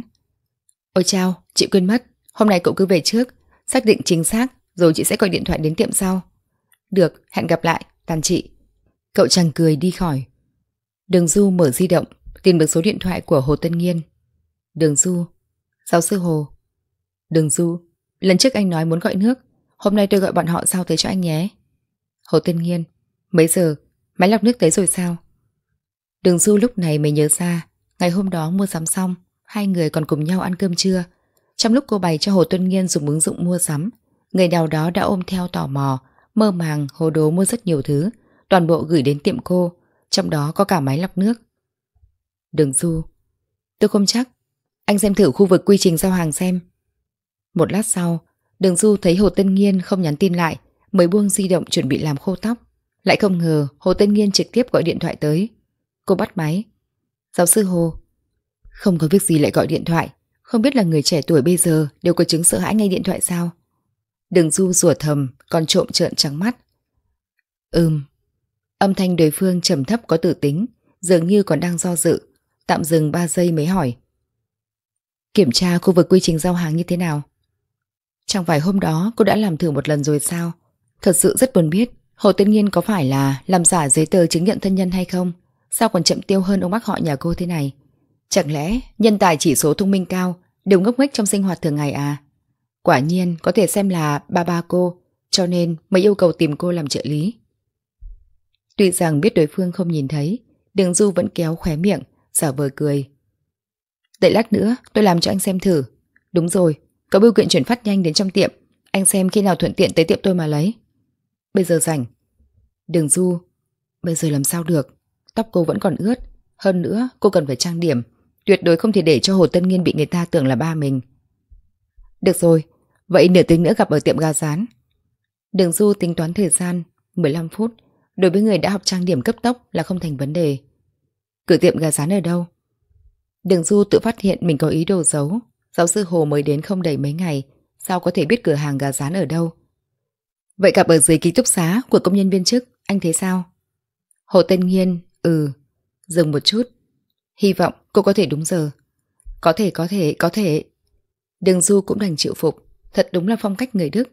Cô lập tức đồng ý, ấn mở loa ngoài, rồi liền bắt đầu tìm kiếm khắp trong tủ quần áo. Ngay cả Hồ Tân Nghiên khi nào cúp điện thoại cũng không biết. Đường Du không ngừng đẩy nhanh tốc độ, rốt cuộc cũng đã chạy xuống lầu đúng vào giây cuối cùng. Lúc này, Hồ Tên Nghiên đã áo mũ chỉnh tề đứng bên cạnh bồn hoa dưới ký túc xá dành cho công nhân viên nhà trường. cúi đầu nhìn chăm chăm đồng hồ trên tay phải một cách cực kỳ nghiêm túc. Giáo sư Hồ. Đường Du thấy thế vội kêu lên một tiếng, chạy tới trước mặt Hồ Tân Nghiên. Thời gian vừa đúng. Cô ngẩng đầu nhếch khóe miệng cười chào hỏi người kia, trong lòng không ngăn được mà tự khen mình. Đường Du thật là ưu tú, trong thời gian ngắn như vậy mà có thể làm được nhiều chuyện đến thế. Hồ Tân Nghiên chỉ cảm thấy có một luồng sáng rực rỡ xinh đẹp đột nhiên xuất hiện trước mặt mình. Chờ khi đường du đã đứng yên bên cạnh hắn, hắn mới cẩn thận nhìn cô. Phát hiện, cô gái nhỏ trước mặt đã sửa lại kiểu trang điểm, tóc dài xõa trên vai, tóc chỗ thấy dương được vén lên, cố định bằng kẹp hình ngôi sao ở sau tai, nghịch ngợm xinh xắn. Một bộ đầm ren màu trắng, bên hông có thắt eo, phác họa vòng eo thon nhỏ, lăn váy đến đầu gối, lộ ra cẳng chân bóng loáng như ngọc mỡ dê, dưới chân còn đi một đôi giày cao gót màu bạc. Cả người cứ như vậy mà cười khanh khách xuất hiện ở trước mặt hắn. Hồ Tân Nghiên bất trí bất giác nhìn về phía đôi mắt cô, sáng lấp lánh, giống như có cả dãy ngân hà giấu bên trong. Bên tai không biết từ nơi nào chuyển đến tiếng trống thỉnh thịch. Hồ Tân Nghiên phát hiện mình đã nhìn chằm chằm vào cô một thời gian quá dài. Hắn hốt hoảng rời ánh mắt đi, lại bất giác ho khan, che giấu sự thất thố của chính mình. Giọng nói có chút nghẹn, thì thầm. Đi thôi. Người phía trước đi hai bước. Đi. Đường Du đã nhìn thấy sự kinh ngạc và ngưỡng mộ trong mắt Hồ Tân Nhiên. Cô vui vẻ đến mức nhảy nhót tung tăng đi tới. Ôi, giáo sư Hồ đi chậm một chút, tôi hôm nay đi giày mới. Bảo bối dưới chân đường Du này vừa mới được giao tới mấy ngày hôm trước, đặt hàng phải đợi 3 tháng. Nếu không phải muốn rửa mối nhục xưa, cô cũng không nỡ mang. Thân ảnh cao giáo phía trước dừng một chút, rồi dần dần bước chậm lại, chờ cô gái phía sau đi tới. đường Du cười thầm, cũng rất ga lăng. Giáo sư Hồ, tôi dẫn anh đi đường tắt, đi qua sân thể dục là có thể đến phố ẩm thực nổi tiếng nhất đại học hát chúng tôi. Sau đó tôi mời anh uống trà chiều nhé, để anh có thể nếm thử tay nghề của sư phụ Lý. Ừm. Hồ Tân Nhiên căn bản là không nghe đường Du đang nói gì, chỉ thuận miệng đồng ý. Hắn cụp đôi mắt xuống, nhìn làn váy trắng gợn sóng khẽ bay theo gió. Thỉnh thoảng có góc váy vất qua chiếc quần tây đen của hắn. Hai màu đen trắng hình thành hai thái cực đối lập. Bỗng dưng, nhớ tới mấy ngày trước cô gái nhỏ này lúc giúp chọn đồ gia dụng đã nói. Đỏ phối với xanh là cho cỏ, đen phối với trắng là thần tiên. Chờ khi Hồ Tân Nghiên đã ngồi trong tiệm của cô, trước mặt bày một phần gà rán, liền có chút hối hận vừa rồi thất thần, không nghe rõ những gì cô gái nhỏ này nói. Đường Du cũng đã mấy ngày không ăn gà rán, thèm vô cùng. Phần ăn AB các loại đều gọi một phần, cô ca thêm đá, hút một hớp tu tu tu, lại mang bao tay ngồi bên cạnh Hồ Tân Nghiên, ăn cực kỳ sảng khoái. Lúc này trong tiệm không có khách, Lý Nham làm xong ba phần gà rán thì liền trốn ra cửa sau hút thuốc, không hề muốn tám chuyện, xem vì sao bà chủ lại dẫn theo một anh chàng đẹp trai tới ăn gà rán. Tuy rằng người đọ một thân vest đen, vừa nhìn đã không giống người thích ăn loại thức ăn nhanh này, Hắn cũng không muốn thừa nhận người này đẹp trai hơn hai phần. Không, một phần. Ngược lại, Tiêu Tiêu bưng phần thức ăn lên, liền vẫn luôn giả vờ bận rộn, trốn trong phòng bếp len lén nhìn ra bên ngoài. Đây là bạn trai chị Đường Du sao? Thật là đẹp trai quá. Hơn nữa, hôm nay chị Đường Du cũng ăn mặc rất đẹp, đôi mắt trượt lấp lóe, son môi cũng rất tôn ra. Đây chẳng lẽ chính là cô gái vì người mình thích mà trang điểm trong truyền thuyết sao? Hồ Tân Nhiên nhìn thấy cô gái nhỏ bên cạnh ăn đến hết sức vui vẻ, nhấp nhấp môi. Hắn đã bao nhiêu năm nay không ăn loại thức ăn này. Anh ăn cơm chưa chưa? Hay là... Hồ Tân Nghiên chống khay, muốn đẩy về hướng đường du, nhưng đã bị ánh mắt đối phương ngăn lại. Hi hi, đã đói bụng rồi, anh nếm thử xem sao. Lần trước, giáo sư Hạ còn dẫn theo giáo sư Quan tới tiệm chúng tôi ăn đấy. Tuy rằng bà ấy là đóng gói đem về cho mấy đứa trẻ trong nhà ăn, nhưng đường du sẽ không nói với hắn. Dưới ánh mắt tha thiết của đường du, Hồ Tân Nhiên không thể không cầm bao tay, xé lên một miếng gà rán nhỏ nhất nhét vào trong miệng. Lớp da gà bên ngoài thơm giòn, cùng chất thịt tươi mới bên trong đồng thời tràn ngập đầu lưỡi. Cũng không tệ lắm. Hắn cầm lấy ly coca trong tay, đột nhiên hút một hớp. À, nước đá khiến hàm răng ê ẩm, cô gái nhỏ bên cạnh còn ôm ly coca trong lồng ngực uống từng hớp một. Hắn không nhịn được, vẫn nói ra miệng. Coca quá lạnh, cô uống ít thôi. Không sao, sức khỏe tôi rất tốt. Chị kém chưa vỗ ngực. Xe Lý Nham để ở nhà. Cuối cùng, đường du chỉ có thể quét mã thuê một chiếc xe đạp.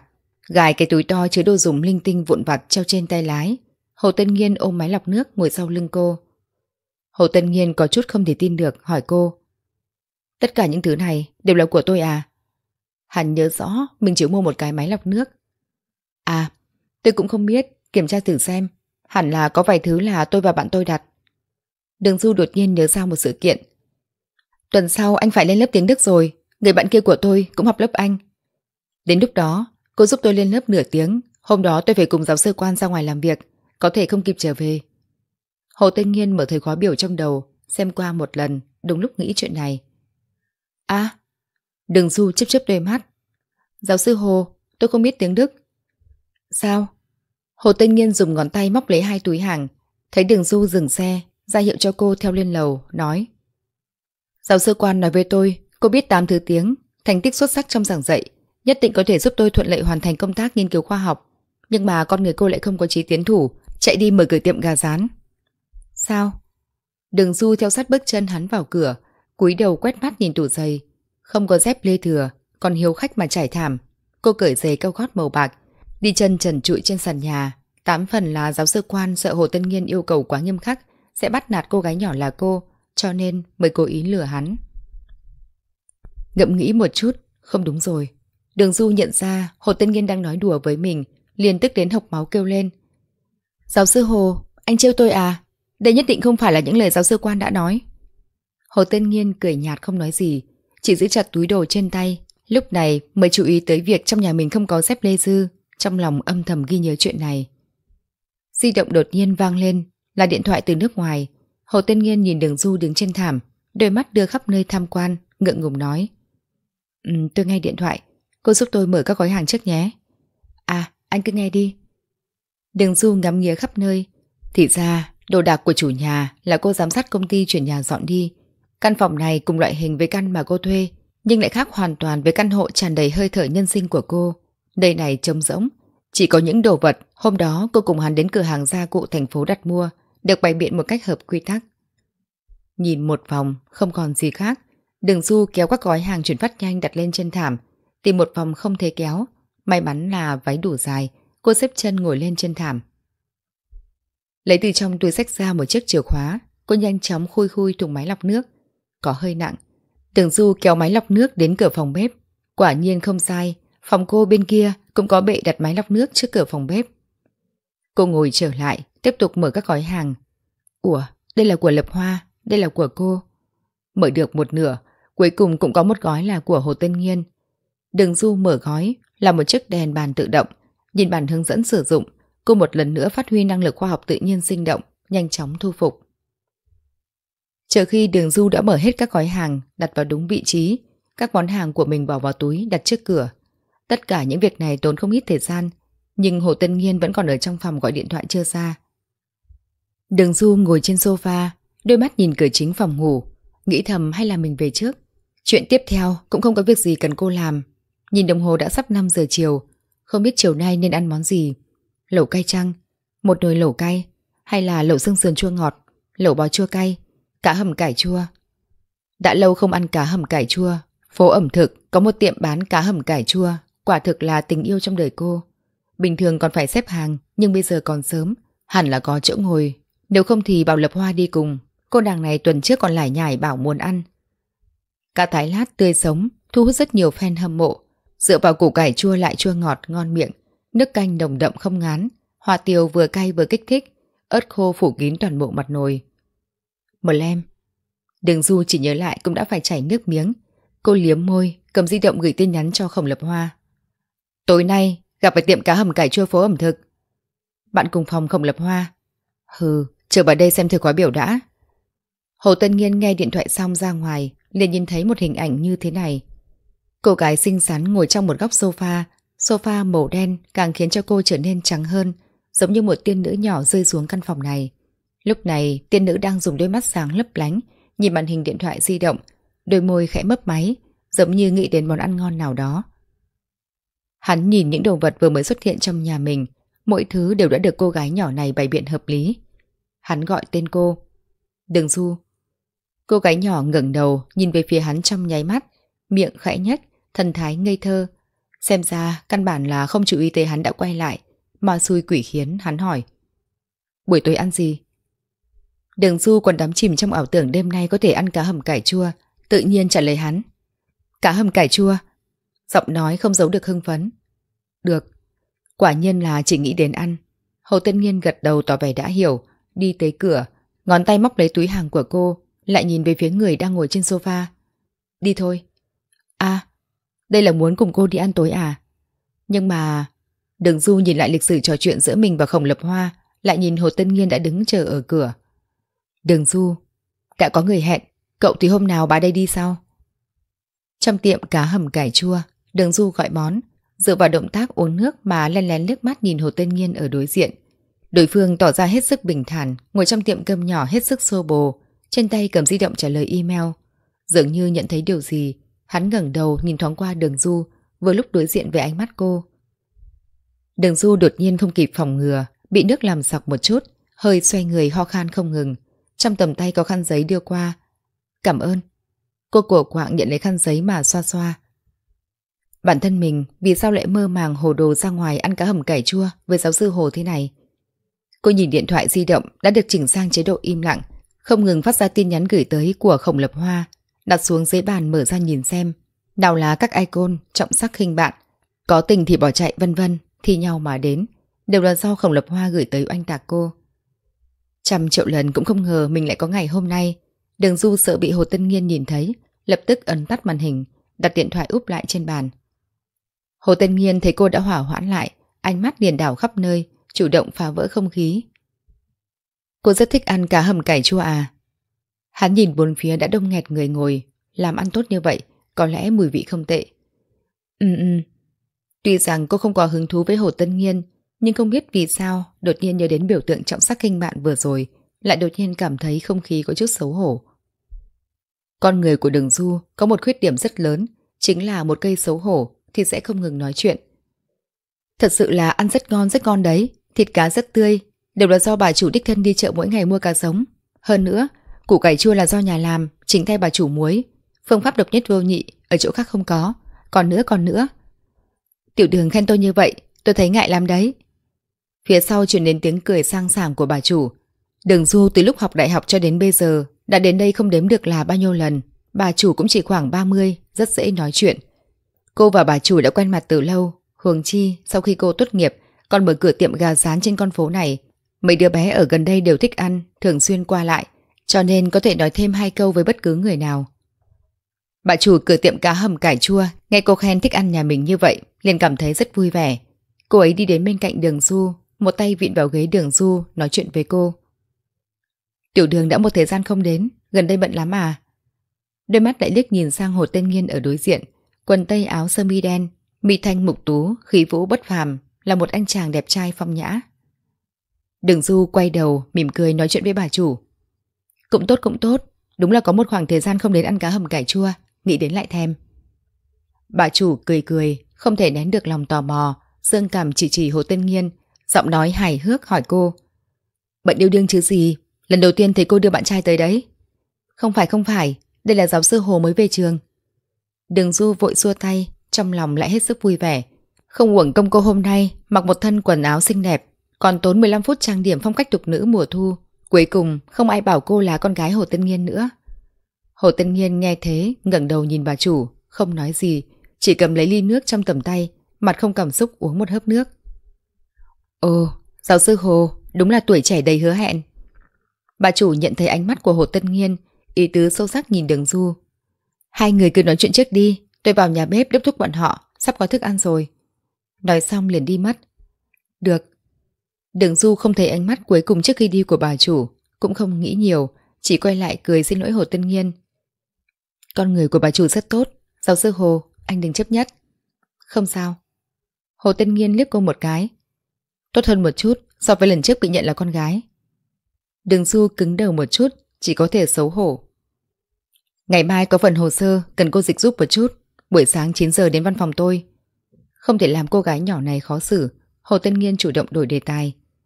Được. Đường Du gật đầu, còn có chút tò mò hỏi. Giáo sư Hồ, mọi người đang nghiên cứu gì vậy? Lần trước giáo sư quan chưa nói rõ ràng, tôi có cần chuẩn bị bài tập gì không? Tôi sợ có những từ chuyên ngành vật lý tôi không làm tốt được. Đến lúc đó làm ảnh hưởng đến công việc của anh. Các từ ngữ chuyên ngành ít sử dụng tôi sẽ liệt kê ra cho cô. Hồ Tuyên Nhiên không để bụng. Hắn cũng không trông cậy vào việc giáo sư quan có thể tìm cho mình một trợ lý giỏi. Chỉ cần tin tưởng được, không tiết lộ văn kiện quan trọng ra ngoài là tốt rồi. Đừng Du càng nghi ngờ. Nói như vậy, thật ra là anh biết tiếng Pháp. Vì sao phải mặt khác tìm người tới phiên dịch đâu? Mùi thơm lẩu cá cay hầm cải chua ngon miệng ập vào trước mặt. Thơm quá, thơm quá. Đường Du giống như một chiếc da đa, quay đầu nhìn nồi lẩu trên tay bà chủ, đôi mắt tỏa sáng, ánh mắt di động theo, mũi cũng hơi rung động. Không phải phiên dịch cho tôi xem. Hồ Tân Nhiên thấy lực chú ý của đường Du đã bị cá hầm cải chua rời đi, thuận miệng giải thích một câu. À à, đường Du đã không còn tâm tư nghe những gì hắn nói, chỉ một lòng nhìn cá hầm cải chua trong nồi, lập tức cầm đũa, kẹp lấy một miếng cá bỏ vào chén Hồ Tân Nhiên. Anh nếm thử trước đi. Ánh mắt trực tiếp nhìn Hồ Tân Nhiên, trong mắt chỉ có hai chữ, khen đi. Thật tình không thể chối từ, Hồ Tân Nhiên đành phải nhìn chằm chằm vào ánh mắt nóng bỏng của người nào đó, ăn miếng thịt cá đầu tiên. Quả thật, chất thịt trên mềm, mỡ màng mà không ngán, hơi cay, là độ cay hắn có thể tiếp nhận được. Hồ Tân Nhiên gật đầu tỏ vẻ đồng ý với Đường Du. Cũng không tệ lắm, cô cũng ăn đi. Đường Du vỗ vỗ ngực, vẻ mặt tự hào. Đương nhiên, tôi đề cử mà. Sau đó không nói nhiều nữa, Đường Du cũng vội vàng ăn cá. Đầu tiên với một ít thịt cá, thêm hai miếng củ cải chua, lại dùng muỗng nhỏ múc hai muỗng canh. Quả thực hoàn mỹ. Một bữa cơm ăn xong, Đường Du hết sức thỏa mãn. Hồ Tân Nhiên thấy cô với bộ dạng ăn cá hầm cải chua, ta chính là người hạnh phúc nhất thế giới này. Hắn có chút buồn cười, khóe miệng hơi nhếch lên, tiếng nói bởi vì ăn ớt cay mà có hơi trầm xuống. Thích đến vậy à? Sao lại không tự mở nhà hàng bán món này? Ngược lại, mở tiệm gà rán đơn giản như vậy. Hắn còn nhớ rõ chiều hôm nay nhìn thấy trong tiệm chỉ có phần ăn AB, đã hết sức kinh ngạc. Đã từng gặp người lười, nhưng chưa thấy ai lười buôn bán đến như vậy. Chậm rãi đi trên sân thể dục phía tây, đường du khẽ thở dài một hơi, ra vẻ thâm sâu trả lời hắn. giáo sư Hồ, có những thứ rất tốt, nhưng mà không cần phải chiếm hữu. Cô dừng một chút, giống như là bản thân mình cũng bị câu triết lý này chọc cười. Nụ cười nhẹ nhàng xinh đẹp, cả người giống như bị ánh sáng dịu dàng vây quanh, cuối cùng vẫn nói với hắn. Thật ra là bởi vì phố ẩm thực không có ai bán gà rán, hơn nữa đầu tư thấp, lợi nhuận cao. Cô nhìn về hướng Hồ Tân nhiên, nhướng mày đánh đồ hắn. Giáo sư Hồ biết tôi học chuyên ngành gì không? Không phải tiếng Pháp chứ? Hắn còn nhớ lúc trước đã yêu cầu giáo sư quan tìm cho mình một trợ lý nam học chuyên ngành luật. Sau khi biết là nữ giới, hắn lại không từ chối. Bởi vì giáo sư quan nói trong chốc lát không tìm ra người, đây chỉ là tạm thời. Tiếp xúc mấy lần mới phát hiện cô gái này rất nhiệt tình, khả năng giao tiếp cũng rất tốt. Chỉ đi một đoạn 500 mét từ sân thể dục phía tây đến sườn núi này, đã có ba nam sinh và hai nữ sinh đàn em chào hỏi cô. Hồ Tân Nghiên dừng bước, tò mò cúi đầu nhìn về phía cô gái bên cạnh. Đêm đầu thu có hơi lạnh, hắn thấy chỗ cánh tay lộ ra ngoài của đường du nổi lên một chút da gà, liền lặng lẽ đến gần thêm một chút, ngăn cản gió thu thổi từ phía sau tới. Không phải, đó chẳng qua chỉ là lúc năm hai tâm huyết dâng trào mà thôi. Đường du cũng dừng bước, đôi tay ôm cánh tay nhẹ nhàng vuốt ve cánh tay để sưởi ấm. Tôi học quản trị kinh doanh, giáo sư quan không nói với anh à. Đường du đi bộ tại chỗ, nâng cầm lên nghịch ngợm hỏi. Sao hả? Chẳng lẽ nhìn tôi không giống tổng tài bá đạo sao? Tổng tài bá đạo?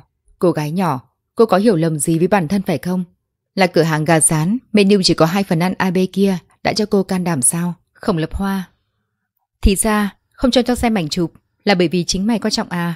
Nói cho mày biết, hừ, tổng giám đốc nhà tao đẹp trai hơn thầy Hồ nhiều. Đừng du, thầy Hồ có thể nhìn thấy tao nổi da gà, thị lực cũng thật tốt quá đi.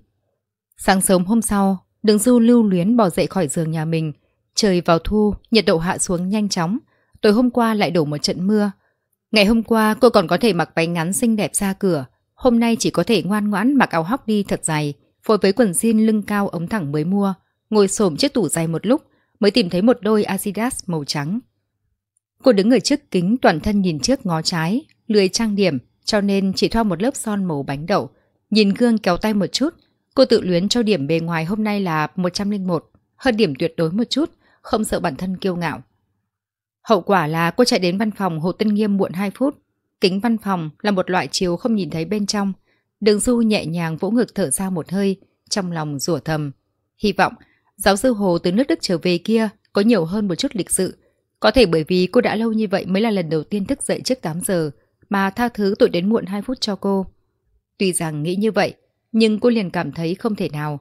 Bởi vì Hồ Tân Nghiên không chỉ là một lần nói với cô bốn chữ, không được đến trễ. Có lẽ hắn cũng rõ ràng, người trong nước mở họp hay làm việc đều có tật xấu đến muộn. Gõ nhẹ lên cửa hai cái, đợi ba giây đồng hồ, không ai đáp lại. Không phải thật sự bởi vì hai phút mà tức giận đấy chứ. Đừng du nhìn di động, không ổn, bây giờ là ba phút. Lại tăng thêm lực gõ hai cái, vẫn không có lời đáp lại. Đừng du xoay then cửa, chậm rãi đẩy cửa, thăm dò vào bên trong. Mà ơi, không phải nói đây là văn phòng riêng của giáo sư Hồ sao? Sao lại đông người như vậy? Còn tất cả đều là nam sinh. Xem ra, ngành vật lý Dương Thịnh âm suy không phải chỉ là lời đồn đãi. Đường Du hít sâu một hơi, đẩy cửa ra, muốn lén nút cặp riêng giáo sư Hồ. Không ngờ cánh cửa lâu năm thiếu tu sửa, phát ra tiếng két, khiến cho những người đang họp đều nhìn lại. Đường Du chống đỡ ánh mắt của mọi người, ngại ngùng cười gượng. Tinh mắt nhìn thấy giáo sư Hồ. ngại ngùng cười gượng. Tinh mắt nhìn thấy giáo sư Hồ ở vị trí trung tâm trong đám người. Đúng lúc đối diện ánh mắt hắn, vội vàng vẫy tay xin lỗi. Giáo sư Hồ, ngại quá, tôi đến muộn. Những người bên trong dường như vừa cảm nhận được điều gì đó, đột nhiên tự động tránh ra một con đường, thẳng tới trước mặt giáo sư Hồ. Tuy rằng không biết đoàn đội của mình từ khi nào đã có thêm một chị xinh đẹp, nhưng giáo sư Hồ ghét nhất là ai đến trễ. Ánh mắt ai nấy đều có chút ý tưởng xem kịch vui. Hồ Tân Nghiên liếc mắt nhìn đường du, khẽ nhíu mày, nhìn về phía đồng hồ treo tường, 9 giờ 04, đến muộn 4 phút. Lại đây. Thân sắc Hồ Tân Nghiên không rõ, hắn chỉ chỉ chỗ ngồi phía sau. Ngồi ở đó, chính là phần tư liệu trên bàn kia. Đường Du vội vàng tiến lên, trộm đỡ ánh mắt lắm chuyện của các sinh viên mà ngồi vào phía sau bàn làm việc của Hồ Tân Nghiên. Đôi mắt quét qua tư liệu trên bàn, lại thò người ra hỏi. Làm ngay bây giờ sao? Hồ Tân Nghiên lại nhìn thoáng qua đồng hồ treo tường, đầu cũng không quay lại. Một tiếng đồng hồ. Nói xong, lại bắt đầu họp với những người đang đứng trong phòng. Phía sau có không ít bạn học đã bắt đầu xì xầm to nhỏ. Lỗ tai đường du cũng rất nhạy bén giống giống như Thuận Phong Nhĩ. Những gì bọn họ nói đều bị cô nghe thấy. Cô không tỏ bất cứ thái độ gì, chỉ lật xem tư liệu trong tay, đồng thời lỗ tay dựng lên nghe ngóng. Đây là ai? Giáo sư Hồ thế mà không nổi giận à? Không biết, chưa từng gặp. Không phải là đi cửa sau vào đó chứ. Lần trước tôi đây đi trễ 30 giây, đã bị mắng đến mức nghi ngờ nhân sinh. Đó là đáng đầy cậu. Trông còn trẻ như vậy, chẳng lẽ là đàn em lớp dưới sao? Bề ngoài thật là xinh đẹp, không phải học cùng ngành với chúng ta đó chứ. Ngành chúng ta làm gì có nữ sinh, cậu cũng đề cao con gái ngành vật lý quá rồi đấy. Nói bậy gì đó, cũng có một vài người coi được mà. Ôi, mấy bông hoa lạnh lùng kia, ở trong mắt tôi đã không phải là nữ sinh đơn giản như vậy. Càng nói càng lớn tiếng, cẩn thận dọc sơ hồ nghe thấy đấy. Đừng du rủa thầm, tuy rằng các cậu ta đều đang nói về bề ngoài của cô xinh đẹp, nhưng lát nữa cô sẽ không giúp đỡ xin sỏ gì đâu. Quả nhiên, tiếng trò chuyện của hai nam sinh kia càng lúc càng lớn. Hồ Tân Nhiên dừng lại, ánh mắt chăm chú nhìn về phía bọn họ, giọng điệu nghiêm túc. Thẩm tử ngôn. Cậu sinh viên bị điểm danh, lập tức đứng thẳng người, lớn tiếng đáp. Có. Hồ Tân Nhiên mặt không chút cảm xúc nhìn cậu ta. Em bên đây mà ngồi, ngồi tít ở phía dưới để ấp trứng à? Tất cả các bạn học ở đây đều lén lút cười thầm. thầm tử ngôn đỏ mặt, miệng lẩm bẩm không biết nói gì. Cuối cùng vẫn miễn cưỡng đi đến trước mặt Hồ Tân Nghiêm. Đường Du tránh ở phía sau Hồ Tân Nghiên, cũng không thể nhịn được mà cúi đầu nhếch miệng cười. Không ngờ giáo sư Hồ lại hài hước như vậy. Tài liệu trong tay không nhiều lắm, chỉ có 4 tờ. Nội dung có một vài từ vựng được khoanh tròn. Giáo sư Hồ đã dịch sẵn ở bên cạnh. Khớp nối giữa các lớp, rào cản phân hạch. Đây là cái gì? Kiến thức vật lý dự trữ của cô đã sớm trả lại cho giáo viên dạy lý ở trường cấp 3. Đây cũng không phải là điều mà cô nên nghĩ. Đường Du ổn định tinh thần, mở laptop cá nhân ra, bắt đầu phiên dịch. Trước khi Đường Du dịch xong phần tư liệu trên tay, Hồ Tư Nhiên vẫn còn chưa họp xong. ngẩng đầu nhìn đồng hồ treo tường, 9 giờ 45 phút. Tầm mắt di chuyển một vòng trong căn phòng không lớn. Phát hiện, mặc kệ là trong nhà hay là văn phòng, địa bàn của Hồ Tân Nhiên đều rất đơn giản. Văn phòng, ngay cả một gốc cây xanh cũng không có. Cô nhớ lại một chút, dường như trong nhà cũng không có. Đường Du ngồi đến mức chân có hơi tê mỏi, muốn đứng lên vận động một chút, lại sợ quấy dây đến bọn họ, đành phải tự mình duỗi tay xoa bóp, trong lòng lại bồi hồi. Thể chất của sinh viên ngành vật lý tốt đến vậy sao? Đã đứng suốt một tiếng đồng hồ, cũng không mệt. Hôm nay thảo luận đến đây thôi, tổ trưởng phân công nhiệm vụ. Hồ Tân Nhiên dừng lại một chút, quay đầu hỏi đường Du nấp ở phía sau, lén ma sát cẳng chân. Dịch xong chưa? Đường Du đột nhiên bị điểm danh, thái độ lười biếng vẫn còn treo trên mặt. Cô ngơ ngác một giây mới liên tục gật đầu. Rồi, đưa laptop cho hắn, bên trên là tư liệu đã được dịch xong. Trên tay đột nhiên bị nhét vào tới một chiếc máy tính màu hồng nhạt, bí mắt Hồ Tân Nghiên giật giật, cưỡng ép chính mình xem nhẹ màu hồng phấn này, cẩn thận xem xét tư liệu đã phiên dịch xong. Có hai câu, nội dung được phiên dịch chưa thật sự lưu loát, điều này cũng không thể trách được đường du. Dù sao, cô cũng không phải là ngành vật lý, hắn đích thân gõ vài cái, sửa lại cho tốt, rồi trả máy tính về cho cô. Hồ Tân Nghiên lấy ít ý nhiều, Chia cho tổ trưởng, cô đóng dấu lên, mỗi người một phần. Câu đầu tiên là nói với Đường Du, câu sau là nói với tổ trưởng. Tổ trưởng mà Hồ Tân Nghiên nhắc tới là một nam sinh có người cao gầy, đeo một chiếc kính mắt nhìn qua rất dày. Cậu ta cười hì hì, vẻ mặt ngượng ngùng đi tới trước mặt Đường Du. Xin chào, có thể thuận tiện thêm số điện thoại hay là địa chỉ mail không? Đường Du muốn nói thêm số điện thoại cũng tốt, sau này có lẽ sẽ còn liên lạc.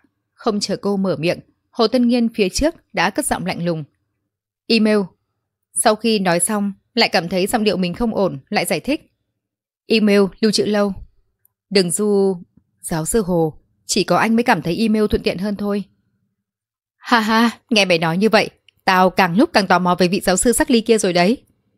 11 giờ tối, Khổng Lập Hoa đột nhiên gõ cửa nhà Đường Du, giọng điệu ồn ào, đòi Đường Du phải đích thân làm bữa ăn khuya cho cô ấy, đền bù mối hận hôm qua bị cho leo cây.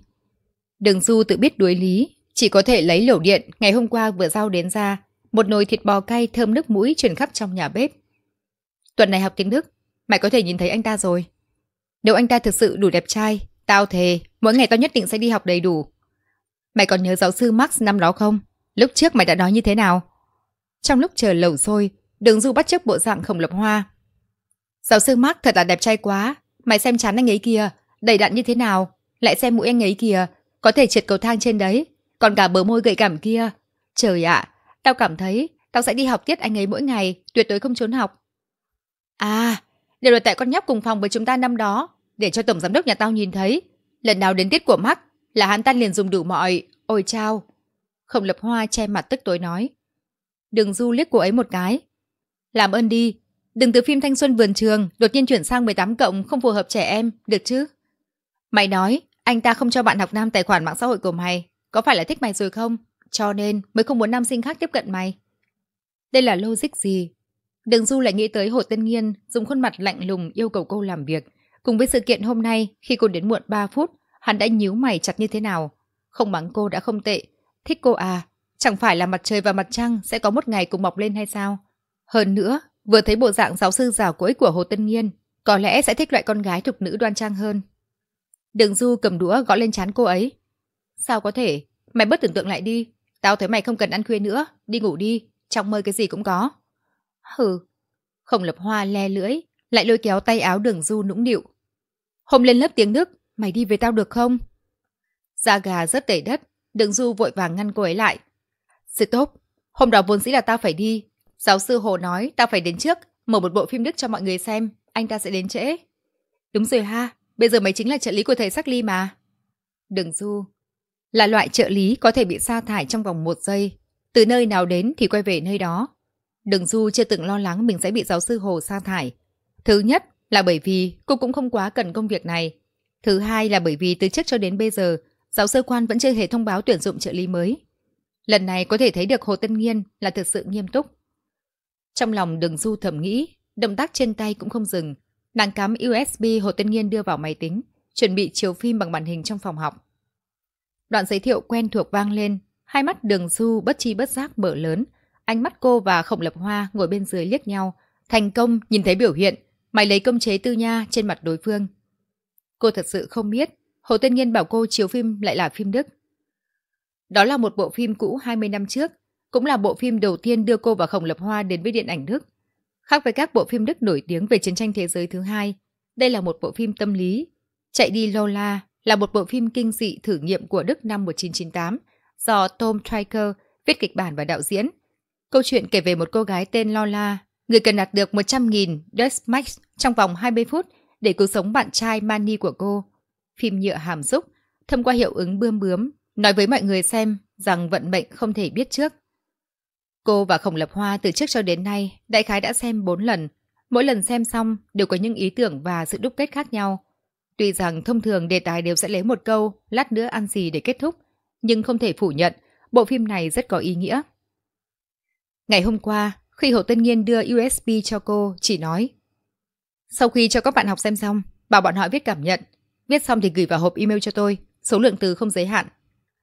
Cô cầm chiếc USB nhỏ trong tay, tò mò hỏi một câu. Là phim gì thế? Hồ Tân Nghiên nghiêng đầu nhìn cô một cái, không trả lời cô mà hỏi lại. Cô cũng muốn viết cảm nhận sau khi xem xong à? Đột nhiên cô cảm thấy giáo sư Hồ này tuy rằng thoạt nhìn có vẻ lãnh đạm, nghiêm túc và cổ hủ, nhưng không ngờ sở thích đối với phim ảnh cũng rất có phẩm vị. Không thể phủ nhận, giờ khắc này cô bắt đầu sinh ra một chút hứng thú đối với Hồ Tân Nghiên nhờ cũng thích bộ phim này, đại khái là lớn bằng móng tay. Đường Du bước xuống bục giảng, ngồi bên cạnh Khổng Lập Hoa. Mà Suy quỷ khiến lại không giải thích với Khổng Lập Hoa rằng bộ phim này là do Hồ Tinh Nhiên bảo cô chiếu. Bên tai là lời thoại quen thuộc, đôi mắt lại bất chi bất giác nhìn ra phía ngoài cửa sổ. Mây trên trời vẫn luôn có ý nghĩa của riêng mình, luôn rất thích mô phỏng, còn tỏ ra nghịch ngợm, muốn người ta đoán nó đang mô phỏng hình ảnh gì. Ánh mắt cô dần dần tan rã, không có điểm dừng chân, ngây ngốc giống như đang đi vào cõi thần tiên, còn người đen như đá quý có thêm sự thần bí. Mãi cho đến khi giáo sư Hồ mặc vest đi rể ra bước lên bục giảng, tắt phim, cô vẫn chưa phục hồi tinh thần lại. Ồ, Khổng Lộc hoa bên cạnh không ngờ giáo sư mới tới lại đẹp trai như vậy. Liền phấn khởi, dùng khỉu tay, hít vào đường du một chút.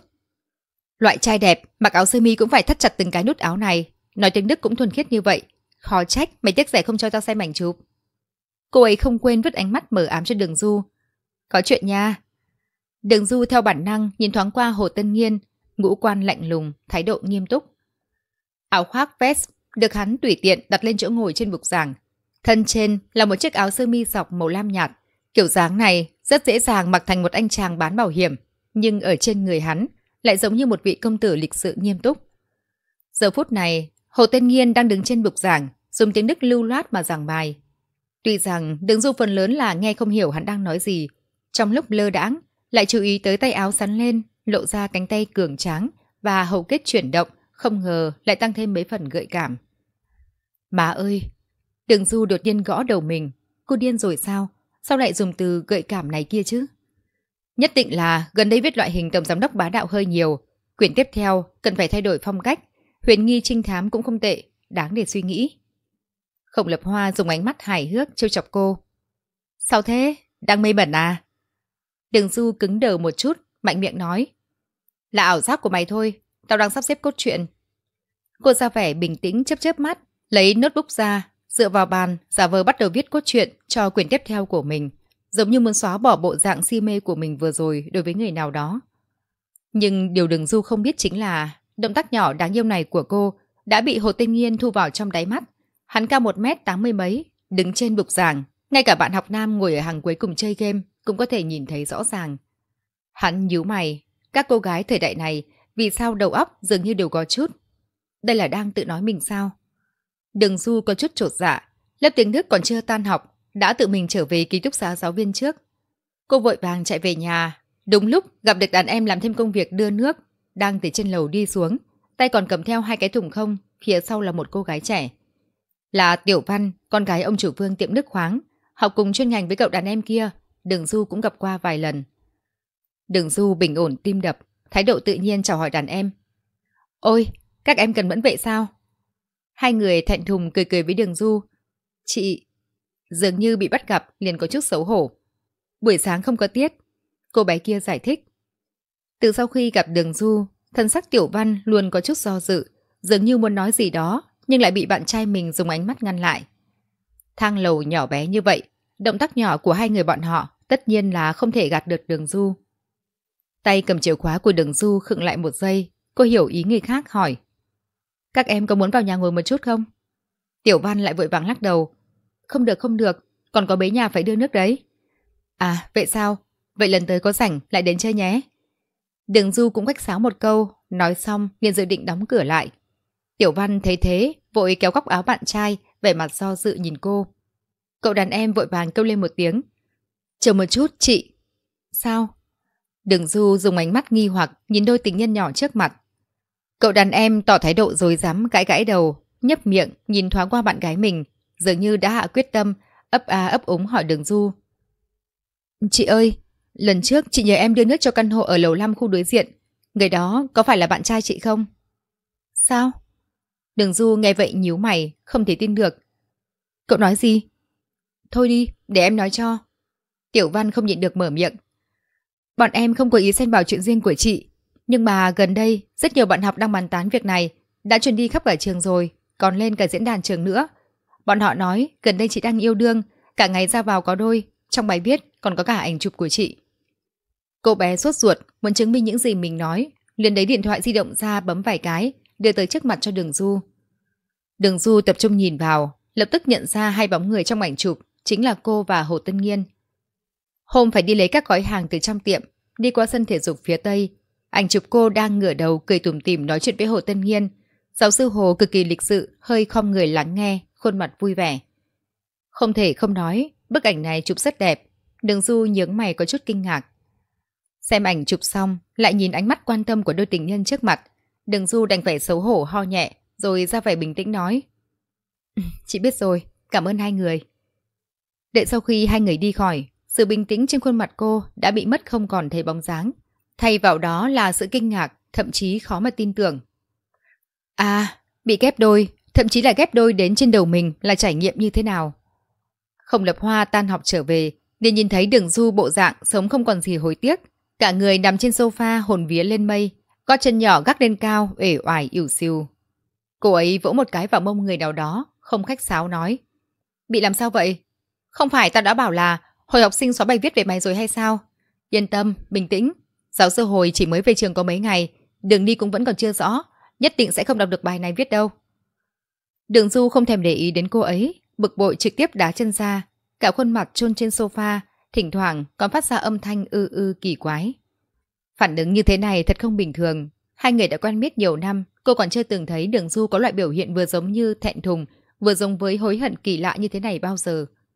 Cô ngẫm nghĩ, lại nghĩ tới khuôn mặt điển trai giáo sư Hồ, thử hỏi. Mẹ quan tâm như vậy, không phải là thật sự thích giáo sư Hồ rồi chứ? Gót chân nhỏ của đường du lập tức cứng đờ ở giữa không trung. Không lập hoa nhướng mày. Sao? Cô ấy đẩy đẩy người đang giả chết trên sofa. Nửa ngày sau, có tiếng nói rất nhỏ truyền tới từ trên sofa. Ừ, rất có thể. Không lập hoa bỗng dưng cảm thấy trò chơi trên điện thoại cũng không vui nữa.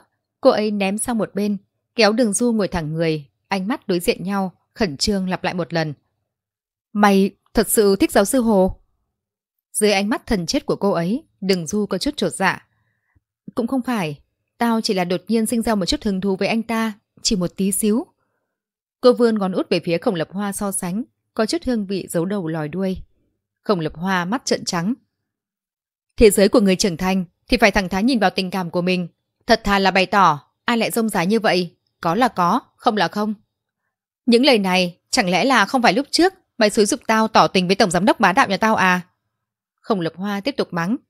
Lúc phân tích tình cảm của người khác thì đạo lý rất rõ ràng. Đến phiên mình thì giống như con rùa đen rút đầu. Vừa nhìn thấy đã độc thân từ trong bụng mẹ. Cô ấy bĩu môi, lấy điện thoại di động, tiếp tục chơi trò chơi. Đừng du không phục, thẳng sống lưng, nâng cằm. Vậy chẳng phải lúc trước, sau khi mày nghe xong lời tao nói, mới có thể thu phục được anh ta vào túi hay sao?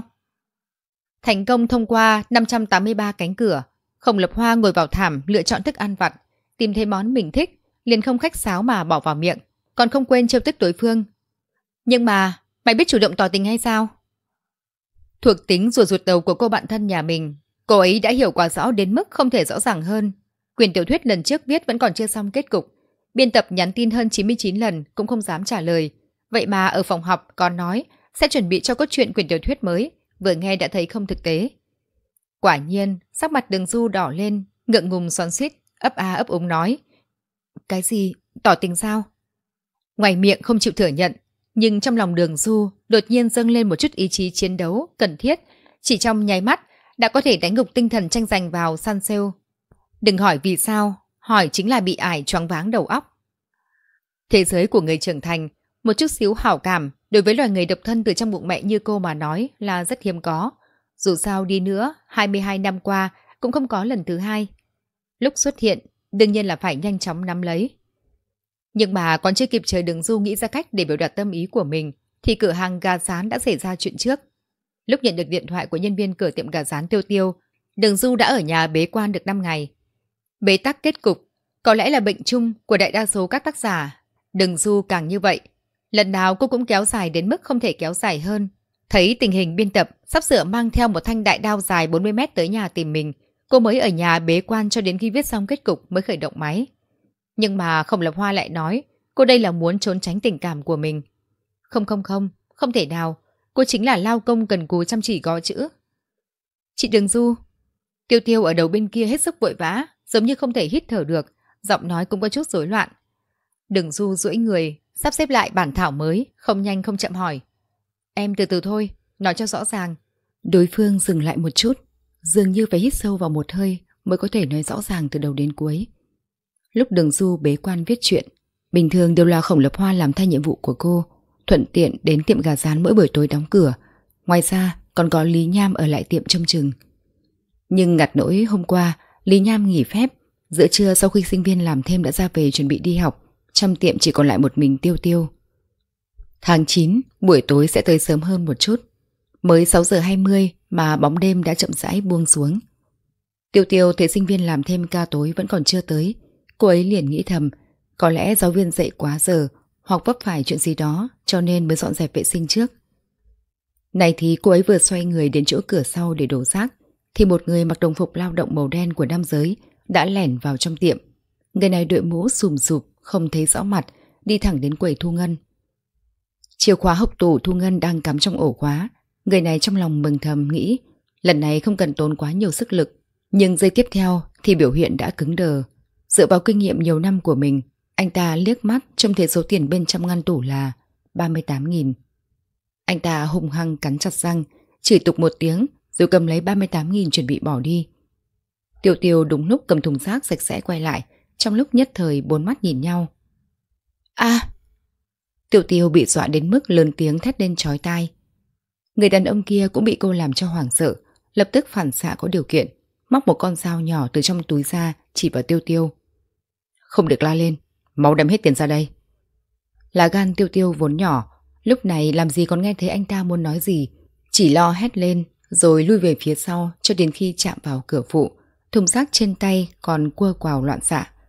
a Sau đó, anh Hồ tình cờ đi ngang qua, chỉ trong một chốc đã có thể bắt được tên cướp rồi báo cảnh sát.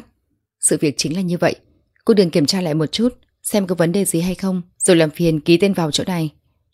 Một người nữ cảnh sát chịu trách nhiệm lập hồ sơ ghi chép, diện mạo thanh tú, nói rõ ràng một lần từ đầu đến cuối về quy trình cho Đường Du biết.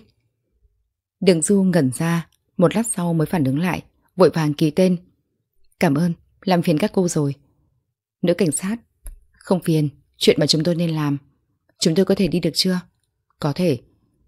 Đường Du giả vờ lơ đãng ngẩng đầu nhìn thoáng qua Tiêu Tiêu và Hồ Tân Nghiên. Tiêu Tiêu vẫn còn hết sức hoảng hốt tay chân run rẩy, còn Hồ Tân Nghiên thì hết sức bình tĩnh tự nhiên, hai tay đan vào nhau, ánh mắt nhìn chằm chằm vào tấm bảng quy định ứng xử dán trên tường cục cảnh sát. Đường Du nhìn lần này có hơi lâu, người đang nhìn chằm chằm vào bản quy tắc ứng xử kia đột nhiên quay người lại.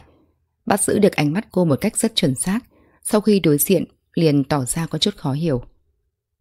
Đường Du cuồng quyết rời tầm mắt đi, lại trột dạ nhấp môi, mắt nhìn thẳng chào tạm biệt nữ cảnh sát kia. Ba người đều không có xe, cùng đứng đón taxi ở trước cửa cục cảnh sát. Hồ Tân Nghiên rất có tính tự giác ngồi trên ghế lái phụ, băng sau dành chỗ cho hai cô gái. Đường Du nắm lấy bàn tay còn đang run rẩy của Tiêu Tiêu, thấp giọng nhẹ nhàng an ủi cô ấy. Không sao đâu, mọi chuyện đã qua rồi, nếu vẫn còn quá sợ thì tối nay tới nhà chị ngủ được không? Cô không có thói quen ở cùng với người khác nhưng thỉnh thoảng thì không sao. Xảy ra chuyện như thế này, tất cả mọi người đều không ngờ tới, cũng không thể bảo Lý Nham đi an ủi cô gái này, cho nên đành phải đích thân bà chủ xả thân vì nghĩa. Không, không cần. May mắn là năng lực tự an ủi của Tiêu Tiêu cũng rất mạnh mẽ. Sau khi bình tĩnh lại, cuối cùng cũng đã không còn run rẩy nữa, ngược lại tỏ ra em rất kiên cường, em không khóc. Cô ấy cũng từ chối lời đề nghị của Đường Du. Em không sợ đâu, chị Đường Du. Tiêu Tiêu cảm thấy bản thân cũng xem là người đã từng gặp qua sóng to gió lớn, còn an ủi ngược lại Đường Du. Chị Đường Du, lúc ấy giáo sư Hồ rất lợi hại, chỉ một vài động tác như vậy là đã có thể bắt giữ được tên cướp kia. Hai mắt cô ấy phát sáng, cua chân múa tay mà diễn tả lại một cách phô trương. Đường Du theo bản năng liếc mắt nhìn Hồ Tân Nghiên trên ghế lái phụ. Cửa sổ xe phản chiếu khuôn mặt nghiêng nghiêng của hắn, đôi mắt sâu thẳm nhìn ra ngoài cửa sổ, giống như đang chìm vào trong một đoạn hồi ức nào đó. Từ khi đến cục cảnh sát cho đến khi lên taxi, cô vẫn chưa nói được một câu nào với đối phương. Hồ Tân Nghiên cũng mang bộ dạng không muốn xã giao với cô. Cô trốn tránh hắn là chuyện rất bình thường, nhưng vì sao cô lại có cảm giác giáo sư Hồ này cũng đang trốn tránh mình? Không không không, nhất định là vì mấy ngày gần đây cô đóng cửa ở trong nhà viết chuyện. Tư duy chỉ độn, dẫn đến bệnh thần kinh, nếu không làm sao lại xuất hiện ảo giác như vậy? Nhà tiêu tiêu ở gần ngay bên cạnh trường học, đường du xuống xe đưa cô ấy đến trước cửa chung cư, bảo cô ấy hai ngày tiếp theo cứ ở nhà mà nghỉ ngơi. Tiêu tiêu nằm lên nắm tay, vẻ mặt chính khí từ chối ý tốt của cô. Bà chủ, ngày mai em sẽ đi làm đúng giờ. Đường Du nghi ngờ, vừa rồi cô gái nhỏ này không phải đến cục cảnh sát, mà là lén nút đến chợ nông sản tiêm máu gà. Đường Du bất đắc dĩ quay trở về, giây tiếp theo liền thấy Hồ Tân Nghiên cũng bước xuống xe, hai tay đút vào túi quần đi về hướng cô. Đường Du thấy xe taxi để lại một làn khói rồi nhanh chóng chạy, nhưng lại không chờ cô theo. Hồ Tân Nghiên đứng ở trước mặt cô, mở miệng phát ra câu nói đầu tiên trong đêm nay. Vậy thôi, đúng lúc tối nay không cần chạy bộ. Đường Du nghe vậy, mi mắt cụp xuống, tuyệt vọng trong nháy mắt, âm thầm lầm bầm. Mình không cần phải chạy bộ. Tuy rằng chỗ này gần trường, nhưng cũng chỉ là gần mà thôi. Đi bộ trở về cũng phải hơn 20 phút. Đây thật sự là hành hạ trạch nữ. Hồ Tân Nghiên không quan tâm đến dòng chữ miễn cưỡng viết rành rành trên mặt người nào đó, đã lập tức nhấc chân đi về hướng trường học. Sau khi hắn thích ứng với công việc ở trường này, đã lập tức khôi phục thói quen chạy bộ mỗi buổi tối. Có một lần đường du đi đóng cửa tiệm, còn nhìn thấy hắn ở sân thể dục phía tây. Tối nay, bởi vì sự việc ở cửa hàng gà rán mà bận suốt cả một đêm, bỏ lỡ thời gian chạy bộ, đi bộ về trường, xem như một cách tập thể dục bù lại. Đường Du đột nhiên nhớ ra, tối hôm qua, Khổng Lập Hoa sau khi đóng cửa tiệm đã nói với cô, bởi vì anh Hồ này mà rất nhiều nữ sinh đặc biệt đến ngồi sổ ở sân thể dục phía Tây vào mỗi buổi tối, muốn xem giáo dơ Hồ chạy bộ, cho nên bây giờ sân thể dục phía Tây đã sắp sửa biến thành khu ngắm cảnh 4A của trường đại học hát. Đường Du bĩu môi đi theo phía sau Hồ Tân Nghiên, gió thu nhẹ nhàng thổi qua khuôn mặt cô, cô cúi đầu thấy dưới ánh trăng và đèn đường có hai cái bóng, một cao một thấp, yên tĩnh sánh bước bên nhau trên mặt đất. Cô lập tức quên đi sự miễn cưỡng lúc nãy, ý tưởng đùa nghịch bỗng chốc xuất hiện, đôi mắt tròn xoe tinh danh chuyển động, tự cho là khéo léo tung tăng nhảy nhót, dẫm lên trên cái bóng của Hồ Tân Nghiên mà đi. Dậm anh, dậm anh, dậm anh. Vẫn còn thích dẫm lên cái bóng người khác trên đường à? Âm thanh trầm thấp của Hồ Tân Nghiên vang lên trên đỉnh đầu, mang theo một chút vui vẻ. Anh ta đã sớm nhận thấy, nhưng vẫn để mặc cho cô chơi đùa hăng say. Đường Du hơi kinh ngạc, ngẩng đầu nhìn về phía Hồ Tân Nghiên. Trên đầu chậm rãi phát ra một dấu chấm hỏi. Sao? Đường Du từ nhỏ đã thích đi phía sau người khác, dẫm lên chiếc bóng của người ta mà chơi đùa. Chiếc kia là đường quả, sau này là khổng lập hoa.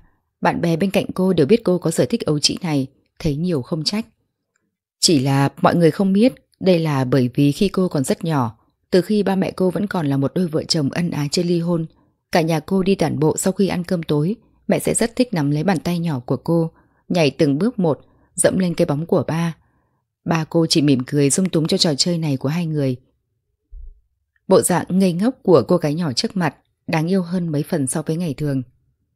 Hồ Tân Nghiên theo bản năng duỗi tay ra xoa mái tóc của cô. Đi thôi, gần người ra đó làm gì? Nói xong, liền lập tức quay đầu đi về hướng trường học. Chỉ có bàn tay nắm chặt thành quyền, lộ ra sự lo lắng và hối hận của hắn lúc này. Ôi vừa rồi thì sao hắn lại không thể nhịn được? Có khi nào cô gái nhỏ này sẽ cảm thấy bị bạo phạm hay không? Hồ Tân Nghiên lo lắng cũng không phải là không có đạo lý. Dù sao đi nữa, lần đầu tiên gặp mặt đã bị nhân viên lễ tân khách sạn nhận lầm là dê già lừa rau đi thuê phòng. Lúc đi mua vật dụng gia đình thì lại biến thành một người ba nghiêm túc không dân chủ, Lần này thì lại sờ đầu cô. Đường Du cắn chặt môi ở phía sau lưng hắn, sợ bản thân mình phát ra tiếng cười. Đôi lông mày ánh lên nét vui sướng, tuy rằng rất ấu trĩ, nhưng trong lòng lại đột nhiên xuất hiện một chút ngọt ngào. Khoan đã, cô vừa mới dùng từ ngọt ngào sao? Đường Du bỗng nhiên dừng bước, nhìn theo bóng hổ tên nghiên, dáng người cao giáo thẳng tắp, khí chất phi phàm, lại cúi đầu ôm ngực không thể tin được mà duỗi tay, trái tim nhảy lên thỉnh thịch, đôi mắt kinh ngạc mở to hết mức. Cảm giác tốt đến mức không thể tưởng tượng. Là động lòng sao? Dễ dàng như vậy. Động tác sờ đầu của Hồ Tân Nghiên đã kích phát trái tim thiếu nữ của đường du, suýt nữa khiến cô quên mất nói chuyện vừa rồi. Thấy Hồ Tân Nghiên đã bước được một quãng khá xa, cô chạy chậm vài bước đến bên cạnh Hồ Tân Nghiên, hai người song song đi tới. Giáo sư Hồ, có phải trước đây chúng ta đã từng quen biết không? Đường Du chú ý tới câu mà vừa nãy hắn nói, vẫn còn thích dẫm lên. Chữ còn này rất sâu sắc, chứa đầy thâm ý, không khỏi khiến người ta miên man suy nghĩ. Hồ Tân Nghiên nghiêng đầu nhìn cô gái nhỏ trước mặt, thấy cô không đề cập đến chuyện vừa rồi, lập tức cảm thấy yên tâm. Cô thật sự không nhớ à? Đường Du mở to đôi mắt kinh ngạc nhìn hắn, thật sự có chút nghi ngờ. Đúng là bọn họ đã từng quen nhau sao? Lúc trước, cô cũng từng nghi ngờ Rõ ràng Hồ Tiên Nghiên chưa từng nhìn thấy ảnh chụp của cô Vì sao lại có thể đoán được chính xác mà đi đến chỗ cô ở sân bay Tôi thực sự là không nhớ rõ. Chẳng phải anh đã ra nước ngoài du học nhiều năm sao? Đường Du mỗi khi suy nghĩ Sẽ có thói quen cắn móng tay. Móng tay là sắp bị cô cắn nát Cũng không nghĩ ra được gì. Ừ, tự mình nghĩ đi. Đường Du thật sự nghĩ không ra. Cô ngẩng đầu nhìn đối phương vài lần Nhấp môi cẩn thận kéo áo hắn. Hoàn toàn không hề ý thức được động tác này có bao nhiêu thân mật và mờ ám. Giáo sư Hồ, ngài nói cho tôi biết đi. Hồ Tân Nghiên cúi đầu nhìn ngón tay nhỏ nhắn trắng nõn của cô, ánh mắt hơi tối, khỏe miệng khẽ nhếch lên.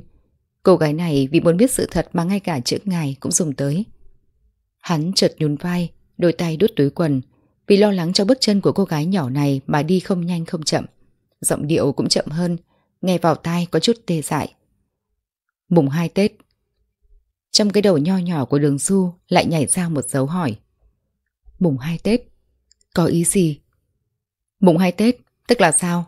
Chẳng lẽ anh ta muốn mùng 2 Tết sang năm cùng về nhà gặp mẹ mày? Mày đang nói bậy bạ cái gì thế?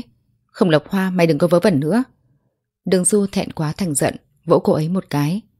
Không lập hoa, vội vàng ôm khoai tây chiên trong lồng ngực bỏ trốn, còn nghịch ngợm le lưỡi với đường Du. Lêu lêu lêu. Đường Du trợn trắng mắt nhìn cô ấy, xoay người dựa vào sofa, nỗ lực nhớ lại. Mùng 2 Tết. Rốt cuộc là có ý gì?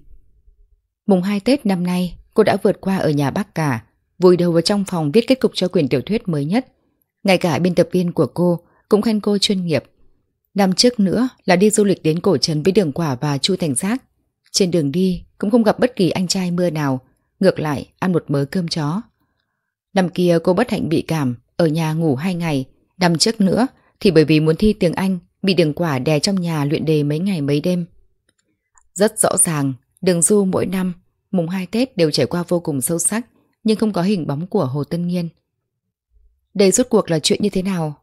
Đồ khó hiểu, đồ xấu xa, sao phải nói một nửa rồi? Đường Du không nghĩ ra được, khóc lóc lăn lộn trên sofa, hai chân trực tiếp đá đạp lung tung. Ôi!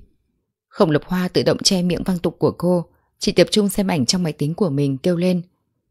Đẹp trai quá! Giáo sư Hồ đẹp trai thật sự! Đường Du, mày mau qua xem này! Xem cái gì mà xem? Không xem! Đường Du cũng không quay đầu lại, trong lòng bực bội vì không nghĩ ra được. Nhưng nghe thấy tên Hồ Tân Nghiên không khống chế được mà bồn chồn cô yếu ớt hỏi. Là ai lại đăng ảnh chụp giáo sư Hồ à? Không phải, mày mong nhìn xem. Không lập hoa kéo tay đường Du, kéo đến trước máy tính. Cô ấy một lần nữa nhấp mở đoạn video quay được kia cho đường Du xem. Chính là quay ở cửa tiệm gà rán, màn hình hiển thị buổi chiều khi đến nham xin nghỉ trong tiệm. Tên cướp kia xông vào cậy tủ lấy tiền, nghiến răng nghiến lợi, cầm 38.000 ở quầy thu ngân, chuẩn bị bỏ đi thì Tiêu Tiêu bất ngờ quay lại. Tiêu Tiêu là nữ giới, tuổi lại nhỏ, con người lại đơn thuần, chưa từng gặp qua những chuyện như vậy, cho nên sợ đến mức hét lên chói tai. Đúng lúc giáo sư Hồ đi ngang qua cửa, thân thủ nhanh nhẹn đoạt lấy hung khí trên tay tên cướp kia, lại nhanh chóng khống chế anh ta, đè xuống đất. Chủ tiệm ở bên cạnh nghe thấy tiếng hét lên chói tai cũng chạy tới giúp đỡ.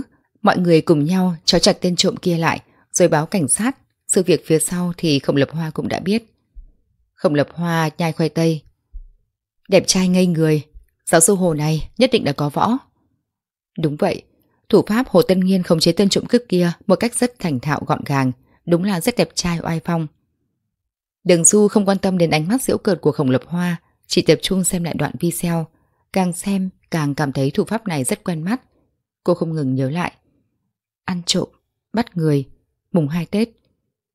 Bỗng nhiên, Đường Du chợt nhớ ra một điều gì đó. Cô vội vàng tắt máy tính, mang dép chạy ra ngoài cửa. Tao nhớ ra rồi, tao nhớ ra rồi. Khổng lập hoa trợn mắt há mồm. Này, Đường Du, mày đi đâu vậy? Đã hơn nửa đêm rồi. Trả lời cô ấy chỉ có tiếng cánh cửa đóng sầm lại cùng với tiếng Đường Du. Tao ra ngoài một chút.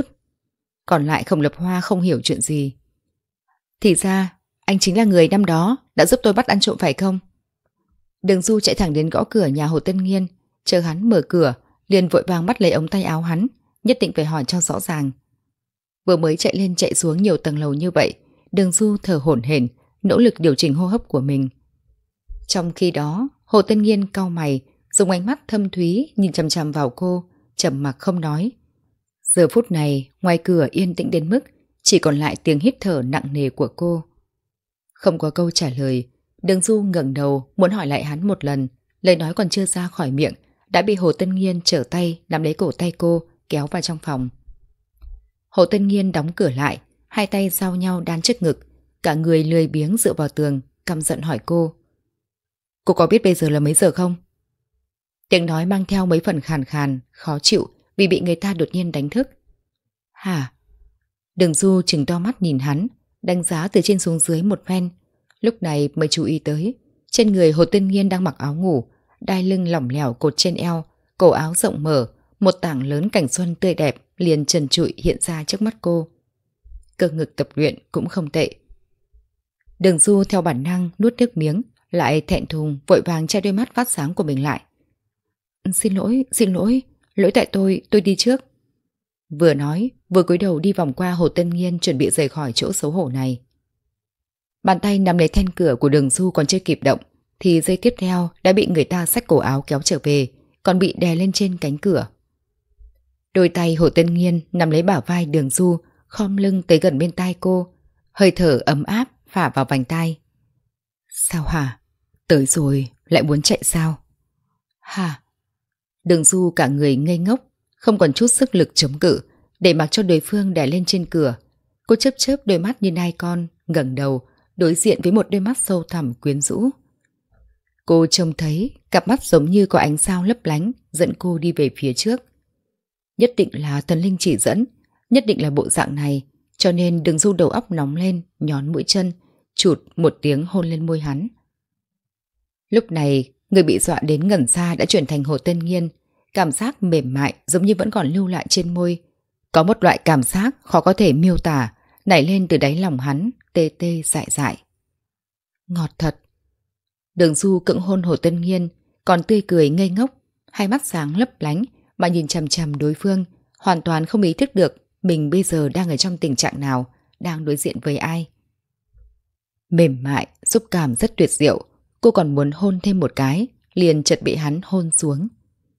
Hồ Tân Nghiên chỉ một thoáng đã lập tức lấy lại tinh thần, kéo cô gái dám giở trò lưu manh này tới, nhìn khuôn mặt đỏ bừng của đường du, trao mày hỏi cô. Cô uống phải rượu giả sao? Anh cũng biết uống rượu giả à? Đường du ngây ngốc lầm bẩm. Hồ Tân Nghiên nhìn khuôn mặt đỏ lên một cách không bình thường của cô, liền đưa tay áp lên trán đường du.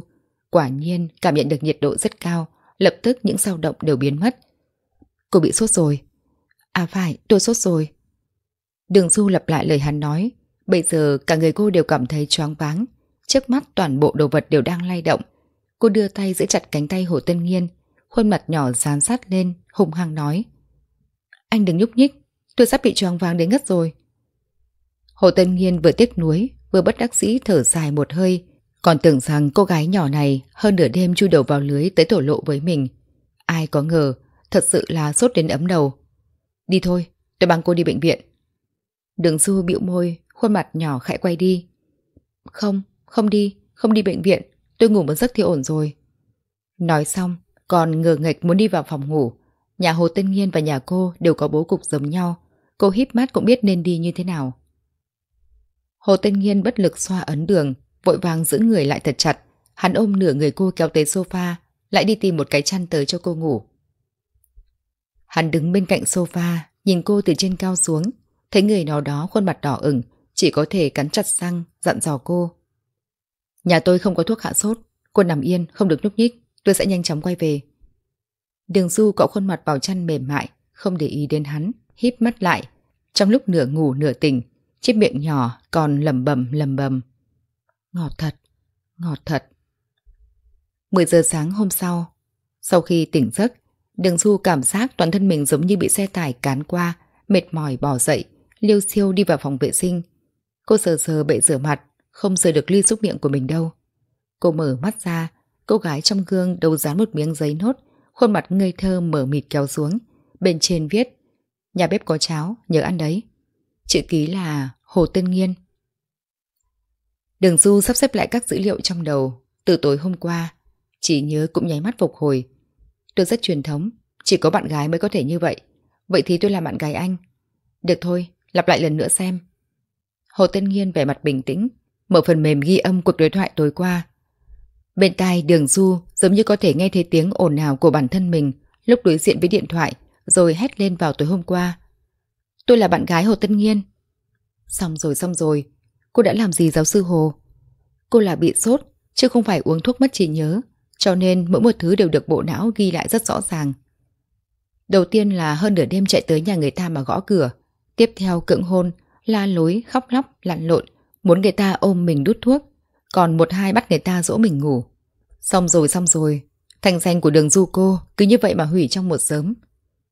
Đường du lấy điện thoại di động ra, bên trên hiển thị bây giờ là buổi sáng 10 giờ 5. Hay là bỏ trốn thôi. Cô còn nhớ sáng nay Hồ Tiên Nhiên phải dự hội nghị, 11 giờ sẽ kết thúc. Hôm qua ra ngoài quá gấp gáp, không mặc áo khoác. Đường Du thuận tiện lấy một bộ áo khoác có mũ của Hồ tiên Nghiên. Chồng lung tung lên người, lại học theo hắn, ghi lời nhắn trên giấy nốt, dán ở tủ giày huyền quan. Tiếp theo, giả vờ yên lặng, không tiếng động chạy về nhà mình. Còn không quên gửi tin nhắn cho Lý Nham, nói bản thân mình có việc, cần phải đi vài ngày, bảo anh ta trông chừng cửa tiệm. Thuận tiện nhờ Trần An Tiêu Tiêu đã hết sức sợ hãi hôm qua. Đúng rồi đúng rồi, còn có một người bạn thân hết sức quan trọng. Cô vội vàng luống cuống tay chân, gọi điện thoại dặn dò Khổng Lập Hoa, hai hôm nay không cần tới tìm cô. Lấy cớ là kết cục của quyển tiểu thuyết còn chưa tốt lắm, cho nên cô muốn ở nhà bế quan. Chuyện như thế này xảy ra không phải là một hai lần. Khổng Lập Hoa đang vội vàng làm thí nghiệm, liền trả lời qua loa, hoàn toàn không biết người bạn thân của mình đã một đêm không về. Nhưng mà Đường Du sau khi đã chuẩn bị tốt tất cả mọi mặt, cũng hoàn toàn không thể ngờ rằng lại có người không ra bài theo lẽ thường. Chờ khi Hồ Tân Nghiên học xong về đến nhà, nghênh đón hắn, chỉ có một tờ giấy nốt với hàng chữ. Xin lỗi, có việc cần phải đi gấp, hẹn gặp lại giáo sư Hồ. Hồ Tân Nghiên ném thức ăn, đã cố ý đóng gói mang từ nhà ăn về, hai tay khoanh lại trước ngực tức giận, cười gằn. Hắn dùng lưỡi liếm phía sau răng hàm, chỉ kém chưa nghiến răng nghiến lợi. Lừa đảo. Hồ Tân Nghiên đi đến bên cạnh ban công, lấy di động ra gọi cho đường du, tiếng chuông reo vang nhưng không ai nghe máy. Giỏi lắm, giỏi. Tên lừa đảo này còn không nghe điện thoại. Hắn nhìn cửa sổ nhà đường du ở tòa lầu đối diện, đại khái là quên đóng cửa. Gió thu thổi bức màn chậm rãi bay phơ phất. Hắn không tỏ cảm xúc gì, chỉ nhìn một lát rồi xoay người vào phòng, bắt đầu tìm kiếm. Lát sau, lấy ra được một chiếc kính viễn vọng. Quả nhiên, cô gái nhỏ kia đang ngồi trên sofa ăn mì gói. Sáng hôm nay vừa mới hạ sốt, bây giờ lại ăn mì gói. Hồ Tân Nghiên giận sôi lên, trong bụng nghẹn một đống lửa, ngoài mặt lại không lộ ra. Hắn quay lại, cầm thức ăn đã đóng gói, đi thẳng đến nhà đường du. Chuông cửa kêu vang, đường du nghĩ rằng có lẽ trà sữa do mình gọi đã được giao đến nơi, liền hết sức vui vẻ đi bộ ra mở cửa. Mì gói vẫn còn nằm trong miệng chưa nuốt xuống bụng, đã nhìn thấy người đứng ngoài cửa là Hồ Tân Nghiên với khuôn mặt lạnh tanh không cảm xúc, trong tay còn cầm theo một hộp cơm của căn tin trường học. Đường Du vội vàng nuốt thức ăn trong miệng xuống. Cô mang theo vẻ mặt, sống không còn gì tiếc nuối, khóe miệng chuyển động vừa xấu hổ vừa không mất lịch sự, mỉm cười. Giáo, giáo sư Hồ, sao anh lại đến đây? Hồ Tân Nhiên cũng không ngờ rằng cửa có thể mở ra một cách dễ dàng như vậy, còn tưởng rằng cô gái nhỏ này cần phải bị dỗ dành đe dọa một lúc kia chứ. Tới bắt trộm. Hồ Tân Nhiên nhấp môi, đáp lại cô bằng một nụ cười cũng xấu hổ và không mất lịch sự như cô. Hắn kéo kéo áo khoác liền mũ trên người cô, nghiêm trang nói. Bộ quần áo này có giá trị trên 10 triệu. Nếu số lượng tài sản bị trộm cắp có giá trị trên 10 triệu thì đã có cơ sở để thành lập án hình sự. Sao? Đừng du hết sức kinh ngạc. Cô cúi đầu, kéo kéo chiếc áo khoác có mũ trên người mình. Bộ quần áo này đắt đến như vậy sao? Xem ra ánh mắt của cô cũng không tệ. Hồ Tất Nhiên từ lúc cô còn chưa kịp phản ứng lại đã lập tức lách người vào nhà thấy cách bài trí bên trong tràn ngập phong vị nữ tính tuyệt đối là điển hình của nhà phụ nữ độc thân trong lòng nguôi giận hơn một chút. Thế nào? Không phải đã nói đi công việc rồi sao? Còn chưa xuất phát? Giọng điệu lãnh đạm, không đoán được cảm xúc. Đường Du chỉ có thể xấu hổ, cười hì hì. Cô đi theo phía sau hắn vào nhà, cực kỳ hối hận vỗ vào tay phải mình một cái. Ai bảo mày biết đi công tác, cho bài viết lung tung này. Ai mà không biết mày đang thất nghiệp, còn công tác cái quái gì. Cô thở dài trong lòng. Ôi không phải là vì lúc đó quá gấp rút, có ai trong lúc chạy trốn lại nghĩ nhiều như vậy bao giờ. Ăn trộm gà không thành, còn mất nắm gạo. Hồ Tân Nghiên quay đầu lại, thấy vẻ mặt trột dạ và bộ dạng xấu hổ ảo não của đường du. Trong lòng có thêm mấy phần không đành lòng, hết giận hơn phần nửa. Giọng điệu hắn trở nên hòa hoãn hơn, kéo cô đến ngồi xuống bên cạnh bàn ăn, vừa định nói điều gì đó, nhìn thấy bì gói trên bàn, lửa giận lại được dịp phát ra, phê bình nói. Mới vừa hạ sốt lại ăn bì gói, em cảm thấy cơ thể mình khỏe lắm mà. Đường du căn bản không chú ý tới hắn còn kéo lấy tay mình, khẩn trương đứng dậy muốn dọn tô mì đi. Tôi tôi... Cô gấp gáp đến mức sắp khóc, cái miệng nhỏ uất đức chu lên. Tôi... Cả buổi cũng không giải thích được rõ ràng. Hồ Tân Nghiên thấy cô chân tay luống cuống, đột nhiên lại cảm thấy giọng điệu của mình quá nghiêm túc. Hà tất phải tức giận với một cô gái nhỏ thế này. Lần này cơn giận hoàn toàn tiêu biến, giọng điệu đã trở nên ôn hòa. Được rồi, ăn cơm đi.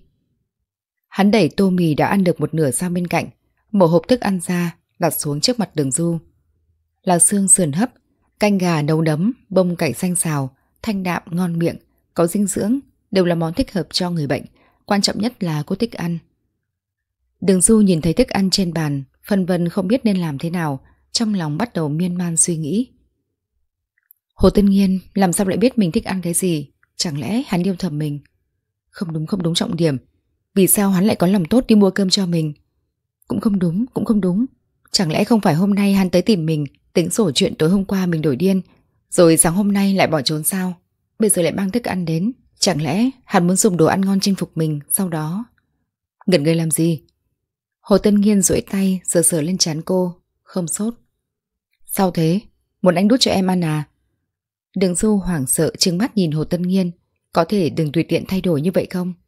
Cô vội lắc lắc bộ não phế liệu, lấy lại tinh thần cúi đầu lùa cơm. Hai người cơm nước xong, mỗi người bưng một ly nước ấm, ngồi đối mặt. Đường Du âm thầm cổ vũ bản thân. Giáo sư Hồ, chúng ta nói chuyện thẳng thắn có được không? Hồ Tân Nghiên hờ hững. Được. Đường Du nghiêng người về phía trước, đôi mắt nai con tròn xoe, nhìn chăm chăm vào đối phương. Cô dùng giọng điệu trần thuật nói. Sáu năm trước, buổi tối mùng 2 Tết, trên đường vành đai bên cạnh bờ sông, anh chàng giúp tôi bắt trộm chính là anh. Hồ Tân Nghiên ngắm nghía ly thủy tinh trong tay gật đầu. Là tôi. Cuối cùng cũng có được đáp án. Đường Du thở phào nhẹ nhõm một hơi, trong lòng nảy sinh một chút ngọt ngào. Giờ phút này, cô bỗng có một tâm tư cho rằng điều này hẳn là có duyên phận. Sáu năm trước, trong một sự việc ẩm mỹ, bất ngờ khiến cho hai người đã có dịp gặp nhau, rồi lại yên lặng biến mất trong trí nhớ của đối phương. Sáu năm sau, bọn họ lại nhận ra nhau bởi vì một sự việc kỳ lạ gần giống như vậy. Mối liên quan kỳ lạ này khiến cho Đường Du cảm thấy hết sức ngọt ngào trong lòng, ngoài miệng lại không thừa nhận, trái lại còn lên án Hồ Tân Nghiên. Vậy vì sao lần đầu tiên gặp lại, anh lại lạnh nhạt với tôi như vậy? Bàn tay cầm ly thủy tinh của Hồ Tân Nghiên hơi khựng lại, hắn ngước mắt nhìn cô, thong thả trả lời. Em cảm thấy, đối với người khiến cho anh suýt chút nữa thì phải vào cục cảnh sát, anh sẽ có ấn tượng tốt gì? Đường Du vừa tốt nghiệp cấp 2 thì ba mẹ đã ly hôn, sau đó hai người nhanh chóng lập gia đình mới. Tuy rằng gia đình bác cả có lòng tốt đón cô, nhưng ngày mùng 2 Tết, bọn họ phải về nhà ngoại chúc Tết. Cô không thể mang theo ra mặt giày về nhà bà ngoại của đường quả được. Cho nên vào năm đó, cô đã nói dối gia đình bác cả rằng mình có một người bạn nhà ở ven sông, phong cảnh đẹp, muốn mời cô đến cùng xem pháo hoa. Khi đó, pháo hoa vẫn còn chưa bị cấm đốt, cho nên rất dễ dàng thuyết phục được vợ chồng bác cả. Chị họ đường quà thì rất thương yêu chiều chuộng cô, còn cho cô thêm một triệu tiền quà tặng, muốn ăn gì thì cứ mua tùy tiện. Trước khi ra cửa, đường du đã nhét tiền vào trong ví, bỏ vào túi áo lông, kết quả là bị trộm. Đúng lúc Hồ Tiên Nhiên đi ngang qua nhìn thấy, đuổi theo. Ví tiền được Hồ Tân Nghiên lấy lại, nhưng tên trộm kia đã mất dấu trước khi cô phát hiện. Cho nên, đường du đã hiểu lầm Hồ Tân Nghiên là ăn trộm, còn bảo các anh cảnh sát bắt hắn. Hai người đến đồn công an cho lời khai suốt một buổi, nói qua nói lại không ai phục ai. Cuối cùng vẫn là cảnh sát kiểm tra camera mới biết được cô nhận sai người. Cô lúc ấy còn không có chút áy náy nào, sau khi ra khỏi đồn cảnh sát, còn cợt nhà vui đùa, dẫm lên cái bóng của người khác mà đi. Bây giờ cô cũng như vậy, thậm chí còn cúi đầu thè lưỡi lêu lêu sau lưng Hồ Tân Nghiên. Chẳng qua, cô đại khái là không biết bàn trà nhà mình là phản quang. Hồ Tân Nghiên nhếch môi, hai chân duỗi thẳng thả lòng người, dựa vào sofa, nói Em hỏi xong rồi chứ? Ừ hứ. Đường Du gật đầu thật mạnh. Vậy đến phiên anh. Hồ Tân Nghiên uống một hơi cạn nước trong ly, đặt chiếc ly xuống bàn, phát ra một tiếng cạch. Đường Du đưa mắt nhìn chằm chằm vào cái ly kia, thân mình run lên một cái. Cô há miệng thở dốc, do dự nói. Vậy, vậy anh nói gì? Hồ Tân Nghiên trực tiếp đứng dậy, lướt qua bàn trà, hai tay chống hai bên cô, ánh mắt sâu thẳm sắc bén, liếc mắt một cái nhìn chằm chằm vào cô, hỏi. Sáng hôm nay, em chạy trốn cái gì? Tư thế này từ xa nhìn lại giống như ôm lấy cô vào lòng. Đừng Du không dám nhìn vào mắt đối phương mà liếc ra nơi khác còn trột dạ trực tiếp vò vò vạt chiếc áo khoác có mũ. Sao? Hồ Tân Nghiên không dự định buông tha cô như vậy trực tiếp cho thấy nhất định phải có được đáp án. Đường Du đột nhiên ngẩng đầu hai người đối diện nhau cô lại có thể nhìn thấy vô vàn ngôi sao nhỏ ở trong ánh mắt Hồ Tân Nghiên giống như tối hôm qua âm thầm cổ vũ cô nói ra sự thật Cô hỏi lại Hồ Tân Nghiên. Giáo sư Hồ, anh nghĩ sao về chuyện tối hôm qua? Hồ Tân Nghiên nghe vậy, dường như vừa thở ra một hơi nhẹ nhõm, bình tĩnh thoải mái ngồi xuống bên cạnh đường du. Một cánh tay đặt lên trên thành ghế phía sau cô. Hắn lấy điện thoại di động trong túi ra, nhấp vào thu mục lưu trữ âm thanh. Tôi rất truyền thống, chỉ có bạn gái mới có thể như vậy. Vậy tôi sẽ làm bạn gái anh. Được thôi, em lặp lại lần nữa đi. Em là bạn gái Hồ Tân Nghiên. đường du há hốc, cô bị đoạn ghi âm này làm hốt hoảng vô cùng, không màng đến ánh mắt hài hước của Hồ Tân Nghiên, đã lập tức giật lấy điện thoại tắt đi, còn tay mắt lanh lẹ lập tức xóa bỏ. Hồ Tân Nghiên nhướng mày. Anh có sao lưu? Cô suýt nữa thì cắn trúng lưỡi. Hồ Tân Nghiên nghiêm mặt hỏi đối phương. Đừng du, thái độ của anh rất rõ ràng, còn em thì sao? Ơ, Hồ Tân Nghiên đây là... đang tỏ tình sao? Bộ dạng nghiêm túc này thật ngầu, thật đẹp trai. Không thể không nói, cô thật sự sao xuyến. Cô cụp mắt xuống, cắn móng tay cái, thẹn thùng hỏi. Giáo sư Hồ, anh có biết là nhà trường không cho phép sinh viên và giáo viên yêu nhau không? Hồ Tân Nghiên hỏi lại cô. Sao thế? Em không nhớ em đã tốt nghiệp rồi à? Anh đã dạy em môn nào vậy? Hồ Tân Nghiên kéo tay cô tới, nắm chặt trong lòng bàn tay mà ngầm nghía, không cho cô cắn móng tay nữa. Trong đầu đột nhiên hiện lên cảnh tượng Tối hôm qua ai đó hôn mình một cách vô cùng ngây ngô, khỏe miệng khẽ mỉm cười. Sau này thì thật ra anh có rất nhiều điều có thể dạy em. Đúng ha? Đường Du không chú ý tới câu cuối cùng của hắn. Cô nhìn bàn tay đan nhau của hai người. Nhớ ra mình hình như chỉ là trợ lý của Hồ Tuân Nghiên. Nhưng mà... Cô đỏ mặt. Nhưng mà tình yêu công sở cũng không được phép. Hồ Tân Nghiên dừng lại một chút, suýt nữa thì bị câu nói của Đường Du làm tức chết. Cái đầu nhỏ này của cô Rốt cuộc là đang vân vân chuyện gì Hắn không muốn nghe đối phương nói lung tung Liền sới lên chán đường du Xác nhận cô đã thật sự hạ sốt Liền trực tiếp bế cô lên đặt trên đùi Nhanh chóng hôn xuống. Gió thu thổi bay rèm cửa sổ Ánh nắng ngày mùa thu soi vào phòng. Khi ánh sáng và bóng tối giao nhau Có hơi thở của hạnh phúc ngọt ngào Chậm rãi, lan tràn. Vâng, quý vị khán thính giả thân mến Bộ truyện ngôn tình ngày hôm nay đến đây là kết thúc. Anh Lê rất mong nhận được sự ủng hộ của quý vị bằng cách like, chia sẻ video, bình luận cảm nghĩ cũng như nhấn đăng ký kênh Top Chuyện Hay để chúng mình có thêm động lực sản xuất thêm nhiều nội dung mới. Chúc quý vị thật nhiều niềm vui, sức khỏe. Xin chào và hẹn gặp lại quý vị trong các bộ truyện mới tiếp theo.